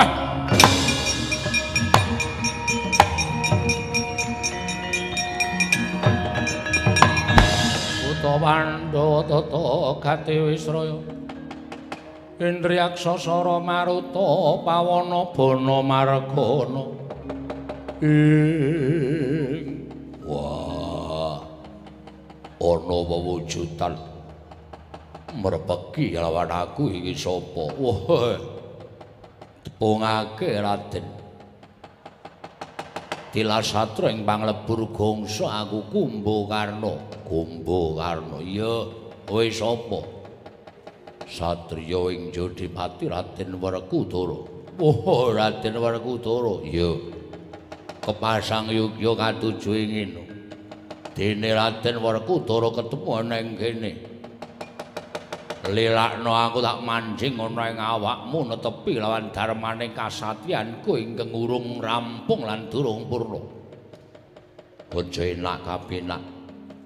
Kondang wis ngumandang ana ing jagat. Satra ing panglebur gongsa wisatra ingkang digdaya sekti kalintang. Teka bareng kowe bakal manjing angganing Werkudara.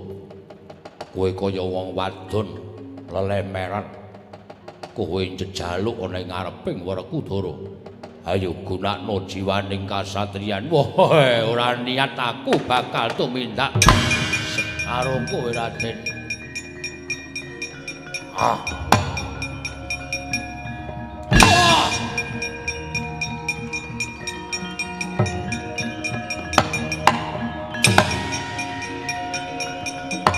Oh.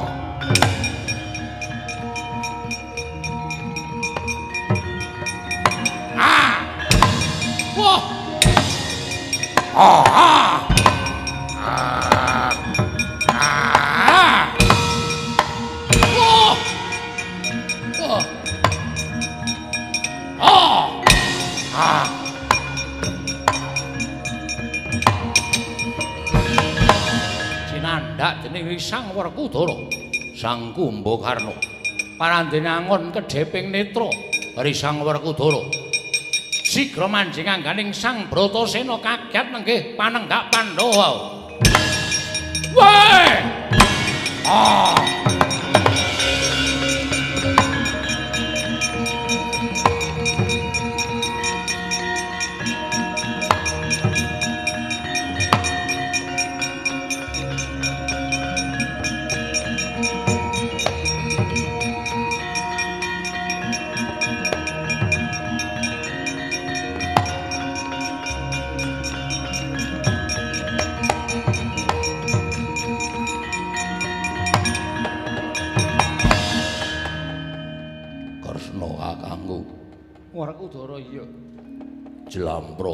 Nggih Kakang Mas saka ngendi?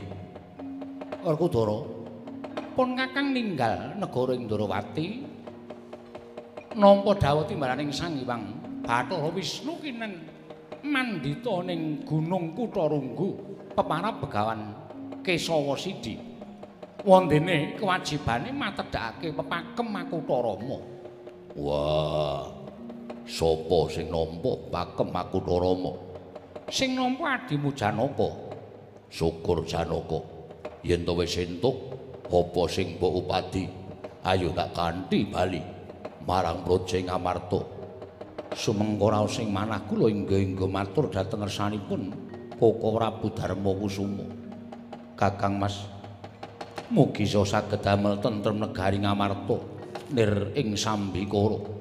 Gemah haripah jinawi krana pepakem aku Tarama menika. Wah, yo tak jaluk pancen kaya ngono.